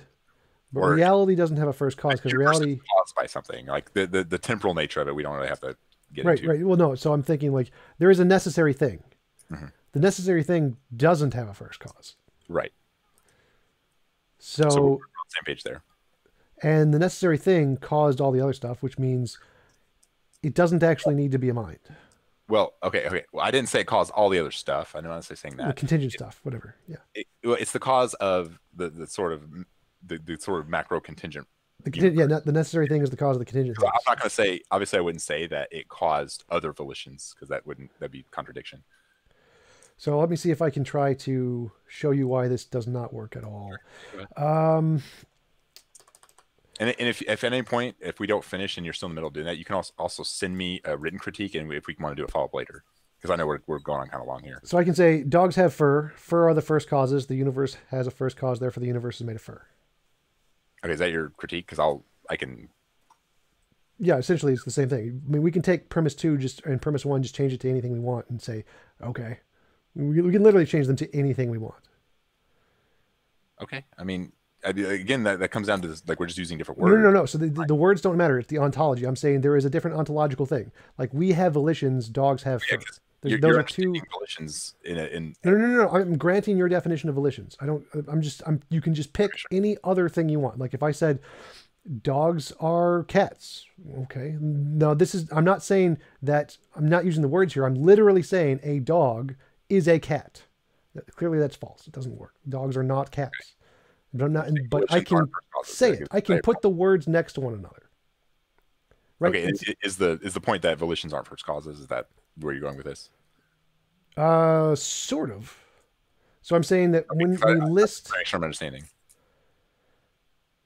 So, so I'm saying that when we list these things, like when we list volitions are first causes, like mm-hmm. prove it, prove it. Okay, so if I'm saying like the the, the definition of a volition, for you want me to prove that de- anything if you involve definitions doesn't work. So it can't be the definition. You got to so prove what, it. What, I guess what you're asking me to prove is first causes. Yep. I'm saying that. Okay. Well, no, no, no, not first causes. I can grant first causes, but you have to prove volition is a first cause. I mean, so if I'm defining it that way, that, that that's that's not evidence. Like, I can define a dog as a first cause. There's no evidence. Yeah, it's like asking me to define a bachelor's not married. Like it doesn't make sense. Well, no, no, no. I mean, like I can say a bachelor is a married man. I can I can define a bachelor as a married man, eh, but that doesn't work. So you can define it any way you want. The point is that you have to show that your definition corresponds to reality and isn't just made up in your head. That's what I'm asking. Show that your definition isn't just made up in your head and corresponds to reality. First causes are things that exist in reality. Volitions yes. are things that exist in our head. So you have to show that this these two there's a connection here. Yeah, They're not just made up. That's not what I. That's not what I'm saying. Volitions are though. So we're just having. No, no, no I, I understand. I understand what you're saying. That's not the point. So you are claiming volitions are first causes. First causes exist like dogs. They are a thing in reality. They are not just made up in our head, right? As we grant the universe or reality has a first cause, or the contingent reality has a first cause. So it exists in reality. It's not just in our imagination. Now you have to show that volitions are those things. If you can't do okay, it, you have no, no evidence. So just your them doesn't there, work. Uh, your description there, I'm not, I'm not sure I'm going with. So when you say first causes are things out in reality, yeah, like like a dog is, I'm, that, that's not what again. I'm, physical reality doesn't matter here. We're just saying it's not imaginary. Is it know, imaginary? It is, it, it, whether it exists in reality, first causes are just descriptions of things that happen. So, like causes, as we're describing them, causes, whether they're physical or not, are real things in reality. And the first causes would just be that first thing that happens. And what I'm saying is like okay. that that production or that thing would be a volition. That that's when I right when right, I, and that's what I'm saying. Demonstrate it. So there was a first cause that exists in reality. Not, we know there was a first that. cause. I'm not saying it's not like it's a claim of an extra property because I'm, I'm really not trying to say that. I'm not trying to say that there's some extra part to this first cause called a volition. Like this whole time, I'm not, I haven't been trying to do that. I'm saying is when we arrive at volitions as being a thing in oh. reality, which is a part of our experience, the qualia. Yes, you are, because you're saying volitions require minds. Like we have volitions, and yes. you're saying volitions require minds. But the first yes, cause, our, our belief that volitions are, are, are first causes is the properly basic belief that we do it ourselves. Properly basic, be- or, or no, no. We, we no, we, no, because we have that again, volitions and minds are not the same thing. I didn't say I didn't say they were the same thing. I'm saying so like, that can't. That's not how properly basic works. But again, so the fact that we have minds and we have volitions, and we're going to call that a first cause of some kind, we, does not necessarily mean the universe's first cause is caused by minds. Composition division fallacy. Say it again. I want to make sure I heard you right. It's like um, I can push stuff over. That cup fell over, therefore it was pushed by a person. Clearly not. It could have been pushed by the wind. Right? No, I mean say the words you just said again. 'cause I, I don't remember think what the words I said again. I do that So so the if I knock over a cup and said, "Oh, look, look, I knocked over a cup," and then we see a cup knocked over, like, "Oh, that must have been done by a person." Clearly, that doesn't work because there's lots of other things that could knock over the cup. So if we want to say our volitions are first causes, and the universe caused the first cause, therefore a mind did it, clearly not the case. Well, the steps there that you're doing isn't representing what I said very well, and that's probably that might be my fault. But the the point is that the reason we believe so obviously we're, we're experiencing ourselves, and this is that what I said the properly basic thing. We we just have the immediate experience of ourselves existing and having that's, not, consciousness. that's not what properly basic means, but okay. Okay, then, but do you know what I'm saying? Yes, yes. So we Okay, experience You we don't have to do the experience ourselves. So yeah, we experience ourselves, and we believe the truth of these experiences not based on some other fundamental evidence, but because of the experience. Right? Right. Are you following that? Yeah, That, that's what I meant yes. by power basic. But if you're saying there's more, I mean, we don't have to call it that, whatever. But that is where I'm deriving the concept of volitions being first causes. Right, right. I got that part. Okay. All right. So so from that, so we've got volitions being first causes. Sure. stops at us. We see that there's a first cause to like the contingent universe. Are you, are you following me so far? Yep. Okay. So you have any objections so far? Yes, but keep going. Okay, let's go back. No, only this matters because I, I, I think it's a communication problem. So So you you claim that our experience is a first cause. Prove it. Because you, you can't just say it. You can't call it properly basic. I can call anything properly basic I want because it's pretty arbitrary and doesn't work. But that's not evidence. okay, okay, let me start over. So the experience of ourselves. Are you asking me to prove that? No, I grant that part. We have Okay, experience. grant that part. So I'm saying Grant th- it's grant it's a first cause. What? What? I'm saying that experience. We're experiencing that and recognizing the, the description of what a first cause is, which you said That- that's the part. No, that's the part. No. So the description of what a first cause is in our experience, there's no connection there. Where where's the connection there? Okay, so if if we're just we're we're brushing over a few things, I think it's probably a good idea, like like necessary reality and first causation. We're gonna we're, just, we're assuming we're agreeing with these concepts. So when I say we're experiencing ourselves and we're experiencing that we, exist, we we have that the world exists or whatever, grant and our, our will, our consciousness is a part of that. Yep. We're saying that we're recognizing that reality. We, as the people that are believing this, are recognizing that reality as stopping with us. That's what we mean by when we say it's it's a first causation with us. What? That doesn't So- make any sense. Okay, let me let me try to use other words. So the experience that is like the fundamental that doesn't have like further proofs or other things that prove it true other than us experiencing it. The the volition or the, the conscious will is a part of that. And the first causation concept that we haven't explicitly defined yet because we thought we assumed we agreed on it is what we're experiencing. We're recognizing that concept is a part of that experience. Well, I agree. First cause is for the universe, but when you say a first cause in a mind, there's no connection to those two things. Oh, Right? Well, I'm getting to that for a second. So, what I just said, what I just said, do you have a problem with that? Yeah, there's there's you, you've made no connection between a first cause and a mind. You have we have experience, yes. Well, no, I mean, I mean, can, what, what I the words I just said, maybe I'll try to say it again. I'm trying to see if you're having a problem with what I just said. So the we have the fundamental experience of ourselves and Yeah. everything, and uh, us being conscious, having a will, being person or whatever, having a mind is a part of that, Yep. and recognizing that the first causation concept. m- You want me to find? You we want to go into that? Is that? I, I have no idea what you're saying. Recognizing that the first. w- w- Okay, well, no, so, so so yes, we exist. We have minds. Rec- what what is it? Where, how does this fit into the premises? okay then i'm saying we're recognizing th- this is the evidence for why i think this is what it is uh, that experience we're able to infer from that experience that that experience is a first cause can- I, I, I can recognize that that experience is a is a square circle. Like what? That doesn't make any sense. are you are you having trouble with my concept of first causation do we want to go How, how does it relate to a mind? Like I can say, okay, we have experience, we have no, no, we, we, we already uh, us being a mind is a fundamental belief so that's not like right?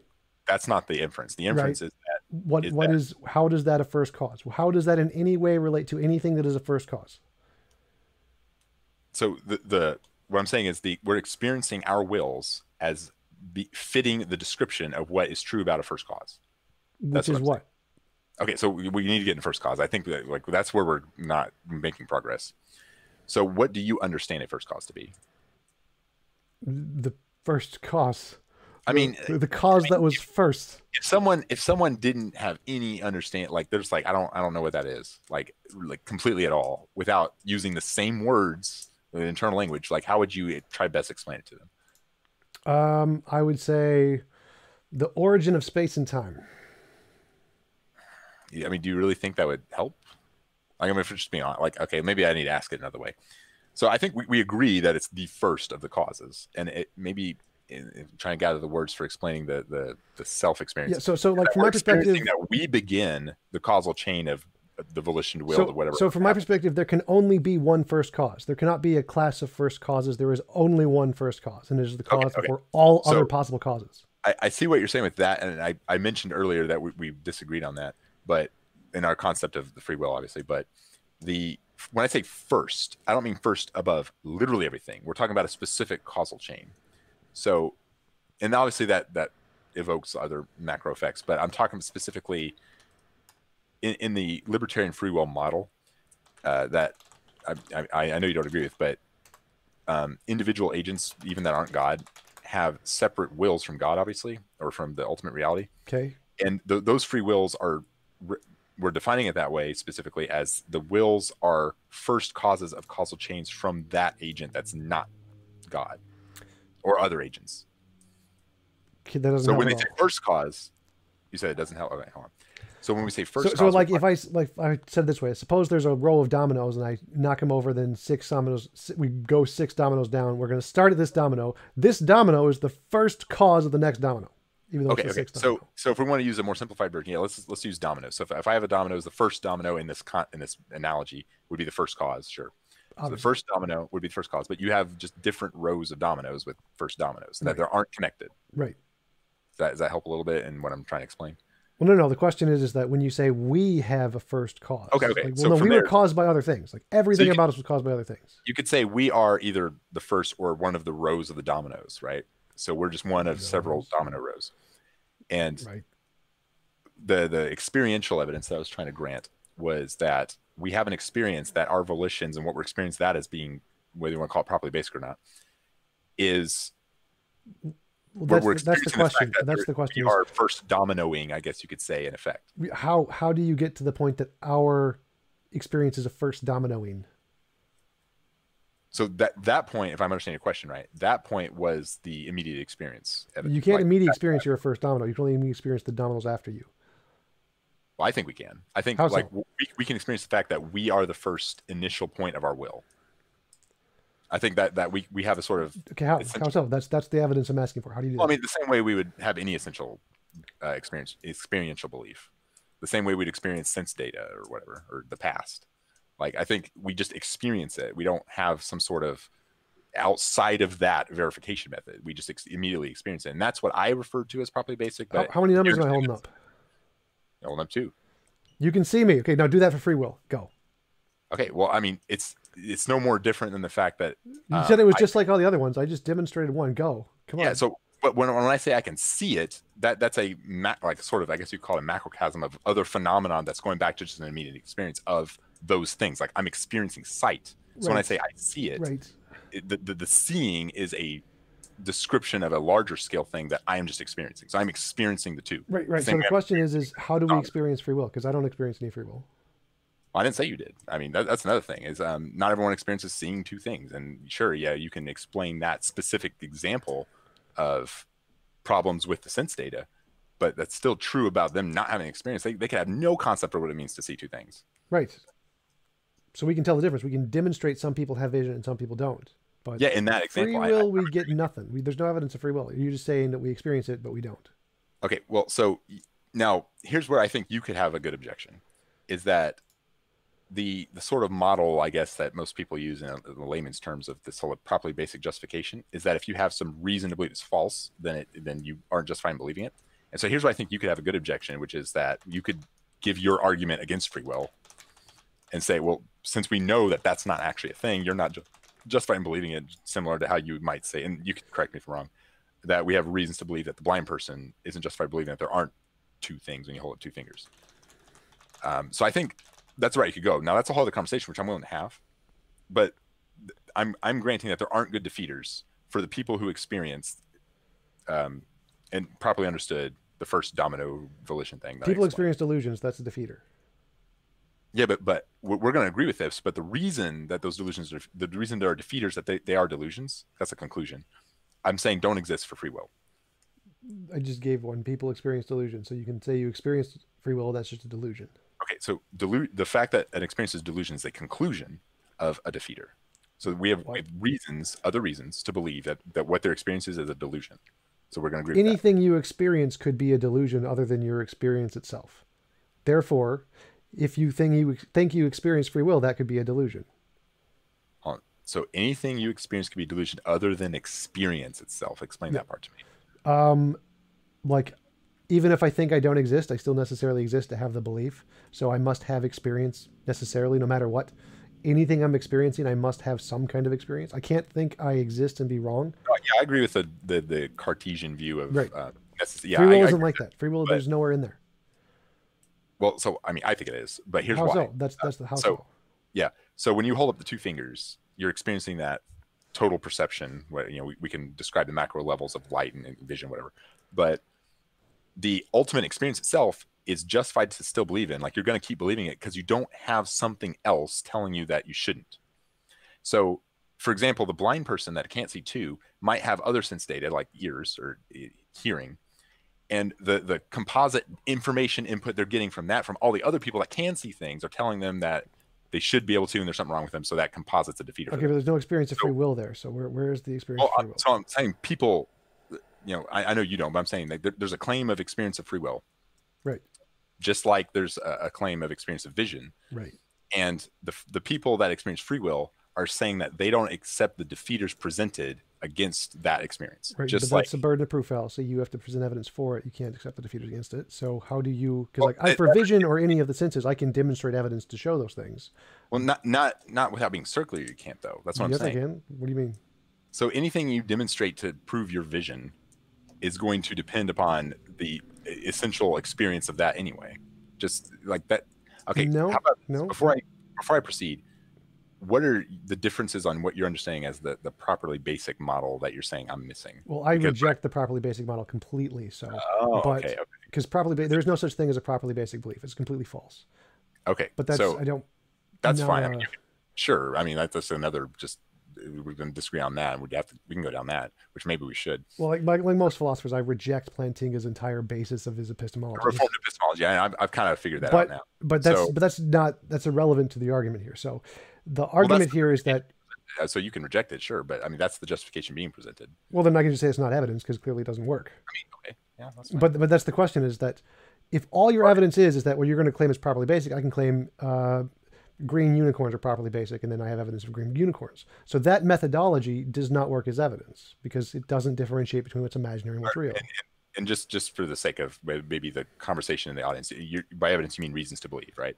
Just by way to differentiate between imaginary and real.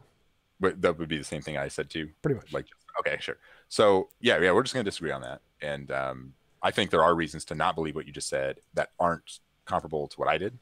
But if what? for whoever's watching, that that's the difference. I think is that I, I you can boil it down to Plantinga's reformed epistemology, which I find coherent enough, but um, I did wasn't gonna get into his entire like thesis on it, but I think that's what it does boil down to. Is like it's just a different epistemic standard, and they they accept properly basic belief as a justified form of believing things that are experienced without what they see as things that defeat it.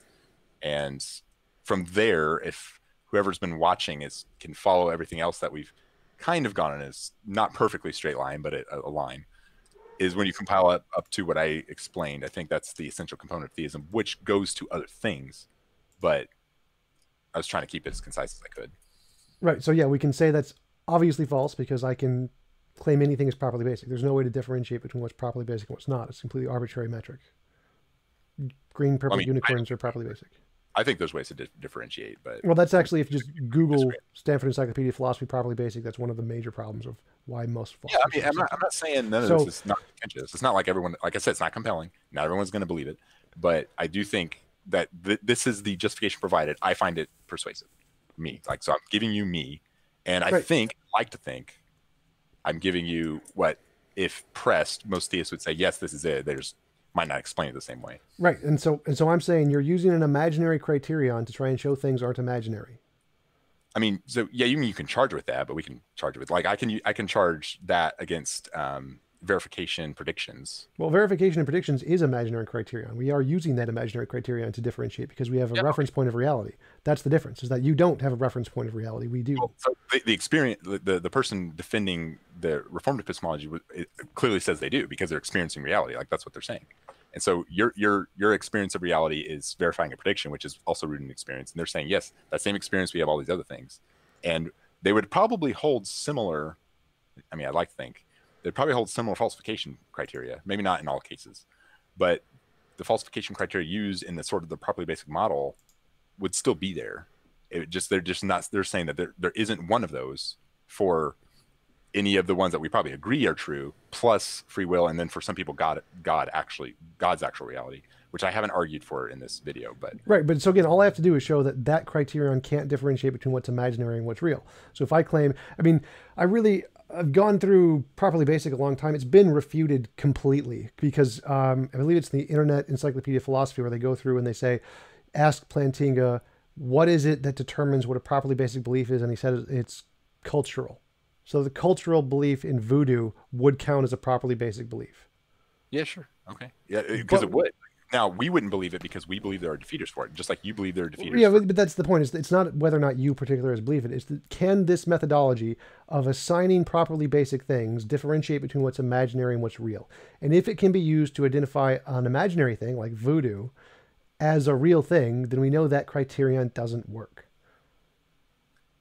When you say we know, I know I know you're referring to the people that are holding to this, but that, like your your description at the beginning of like assume there isn't people and just like objectively true or false. Yes, mm-hmm. there are. There is objective what? truth. Or yeah, yeah. There's, there's absolutely objective truth. You know, said that. So there's objective truth, but the, the sure. questions that we're addressing and the way we're addressing it is what are we reasonable? What's reasonable to believe is true, and so that's the debated point. Right. And we give arguments and evidence, like that, the point is not like someone somewhere can say this is true and we're asking them. It's like we're, we're giving the methodologies on why we come to beliefs that right. clearly people believe and there's clearly quite a few that the parodies try to address that people don't believe. And i think there's a video you had uh, i saw part of it about flying spaghetti monster but i didn't want to redo that video. And the reasons that we're presenting the, the reason criteria obviously you're, you're not going to agree with it. You're going to say when you say we can show i know you believe that that's part of the objective truth just the other people don't and that's why I'm, I'm important. It's important when I say I don't think it's compelling. And even though there's probably not a single thing, a single proposition that's maybe compelled by everybody, I, I would like to think the Cartesian view of the self is, even if some people say it doesn't. All right, I, I, would agree with that. But remember, remember my remember my example of the the magic eight ball. If I said I believe leprechauns are real because a magic eight ball told me, we can show that's false because the methodology can't differentiate between what's imaginary and what's real. Yeah, I agree. Properly basic beliefs are the same as the magic eight ball, and it's been demonstrated to the satisfaction of everybody because they literally asked Plantinga, "What is the criterion for what de- determines a properly basic belief? Is it cultural?" And gave a bunch of examples. He said yes and the Internet Encyclopedia of Philosophy section seven, where it okay, goes through sure. this. I, am not just re- I'm not going to purely regurgitate Plantinga, but so what? And I, I think he in other contexts said this that a properly basic belief, if we're saying like the criteria of what makes it that, is a belief that can't be furthered inferred from outside information. So it's like, let, let me make sure I'm, I'm explaining this properly it's not built upon further foundations of information. It's the immediate experience of whatever it is that you're believing is real. Right. Well, that's that's the problem is that when you try to go into what that means, it fails because it can be anything like voodoo. Well, so no, okay, so you're right. You know, you're right about that, and even the the further other examples we gave about like holding up your hands and other sense data, and someone that might have certain physical problems will perceive information and light differently. The whole is your red same as my red problem. Like that's that's obviously true what you're saying, and, and culturally speaking, they they believe that their experiences are correctly described by what they're calling voodoo and other things. But the the objective reality that we are experiencing and if we're able to infer other things about it correctly is that's the matter of debate is whether that these methods right, right so so my argument is is that we have voodoo and we have free will. Which one is right and which one is wrong? So i yeah i, I think free will's right voodoo's wrong okay. No evidence i'm not asking for your opinion i'm asking for evidence like that's another way of saying the same thing when i if i give you evidence if i say this is the evidence that that's also saying I believe this is the evidence. Like this. Well, just... no, I know what you believe. That's I'm asking for the evidence. Uh, your belief doesn't help me. I want to know the evidence. So uh, I think another way to explain this. Are you familiar with what I just explained? That is your red the same as my red thing? Yeah. Okay. So the the the qualia itself, the the immediate experience, has an objective reality. I think we're going to agree right. on this. We're trying to experience reality, right. and when we describe it, not everyone's going to. I don't think everyone perfectly experiences the same way. At least we can agree on sense data. Now, what we'll probably agree on from there is that sense data is largely agreed upon. Uh, and then that the, the cases that disagree are, and at least if we're talking scientifically, the cases that disagree have uh, some kind of disability or deformity on why that would be the case. Like we, we can explain okay. that. I think we're actually going to agree on all those points. Yep. But the experience itself is still foundational. Right. Like, like not going right. to go further than that. Yep. So we're experiencing reality. I think we granted this early in the in the talk. So from there, there's other things that people are claiming, like your voodoo or God or religions, Holy Spirit, whatever, free will. So there's other things people are claiming that they're experiencing. The reasons we're going to reject the outside corner cases of sense data, those those what are called defeaters, the people that are defending their other beliefs don't believe that they're sufficient defeaters, and that's really where the conversation should focus. So I think from there, I think it would be profitable because it's getting a little late for me. If you can give me a written critique from there and other things you want to include, and then if you want to someday, we can follow up on that so I can read it. Yeah. yeah. So, so here's here's my main argument: is that properly basic beliefs does not work as a criterion because anybody can like people have different properly basic beliefs that are mutually exclusive, and we have no way to differentiate which ones are real and which ones are imaginary. We know some are imaginary, so that prop that methodology well, fails. I think we have ways of distinguishing, and I think largely we're going to agree on a lot of those methods. We're just disagreeing on this specific one, and we'd probably disagree on a few others. But in, in this talk, we're disagreeing on this specific one. Uh, well, that that's my thing. Is this specific one properly basic beliefs can't differentiate between what's imaginary and what's real because there are mutually exclusive ideas that both qualify equally as properly basic beliefs, and they can't both be true. So without that criteria, doesn't work. We, we know that criteria doesn't work, just like the magic eight ball doesn't work. Well, the, the defeated reason I gave works clearly. Like we, we can know that these people specifically aren't experiencing the reality, and, and there's a reason why we're agreeing on that and they're not. So like there's clearly. Well, no, I'm disagreeing with you and the voodoo. Free will and voodoo are equally as false. I know, I know. but you you're, you're you're saying that you're agreeing so, so, with me on on the sense perspective point. Right. I think therefore I am, but then the free will and the voodoo are equally false. uh, I'm sorry, the, the, the physical sense, like the, the blind people, for example. So there are blind right. people and it like but, if we never went out of our way to explain that they're blind right. Their reality would be obviously completely different. Yeah so sense so, experience is verifiable. We, we do have ways to show sense experience is not imaginary and is real but we don't have ways to show free will or voodoo because those are both equally as unjustified. we're, we're going a little fast. So so we're so we're agreeing on that point. Now you you went the next step and says we have ways to show that sense data is real. Yeah. I agree. What i'm saying is the, the, the belief that it is real starts with the experience and then we we can remove the defeaters or say that there are none to justify it. Well, so so again, the defeaters don't matter here. Like it's a burden of proof fallacy. You don't believe something until you have defeaters. It's the other way around. You it's imaginary until demonstrated otherwise, not real until demonstrated yeah, and not imaginary. demonstration is going to be experienced, so it, it's still going to come down to the experience. And and you're I know you're rejecting that is what I think is the essential quality that maybe in the context. Oh yeah, yeah. So so one of Plantinga's arguments is the um, you should believe you can believe something until it has defeaters. That is just a straight up burden of proof fallacy. We know that doesn't work. Well, uh, okay, that, that's that's a little bit uh, of a oversimplification. It it's you're only believing, uh, yeah, yeah. But the the reason I bring that up is because the the thing you're believing is just anything. It's specifically things that are. Well, only... no, that's that's the part I'm saying. It is literally anything. It applies to voodoo. It applies to magic fairies. It applies to great pumpkins. It applies to literally anything. That's the objection to the properly basic is that it applies to anything. It's culturally well, determined. It's arbitrary. It applies to literally anything. I, I Uh, I'll read the quote, but I, I really yes. don't think that's Internet Encyclopedia Philosophy, Section 7 Objections to Reformed Epistemology. Yeah, there's, there's, other contexts where he's gone into details and other quotes that I could I could find. And please do, because this because this pretty much debunks all of the properly basic stuff in like one fell swoop and shows it doesn't work. So if you can show that this is incorrect or something, please do, because it kind of debunks all of that as evidence. Okay, so so I'll, I'll at least I'll finish up with my description here, and then when we if we ever come back, I can give you the information I'm referring to. But um, the the experience itself, it's not that it's not any belief. I, like when you when you refer to it as being cultural, it's beliefs that aren't f- further based on other information. Like so, like I don't believe that space time is curved because I experienced that. Like I just don't. I, I think that's pretty clear perception that that is the conclusion of large amounts of other information and inferences that I've derived that did start with fundamental experiences, whether it be sense data or not. And that's what I believe Plantinga is talking about. Now, I'll, I'll, follow back up with that. I'll check out because I've read the work once and I mostly just talked about with other people. And I've seen a few interviews. I'm not like a hardcore Plantinga person, but I mean, as far as that concept makes sense to me, I do go along with it. But I'll, I'll just I'll end it with that. If you want to send me the the written critique to I guess the the best version of what we talked about and try to formulate premises and that last part about properly basic belief, we can follow up again and continue.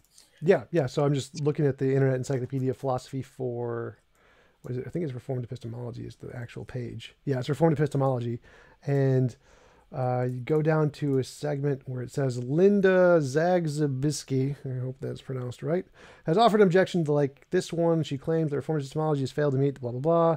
If a belief is rational, it's rationally recognized in principle by rational persons in other cultures, and this is where it goes into the whole segment about why it doesn't work.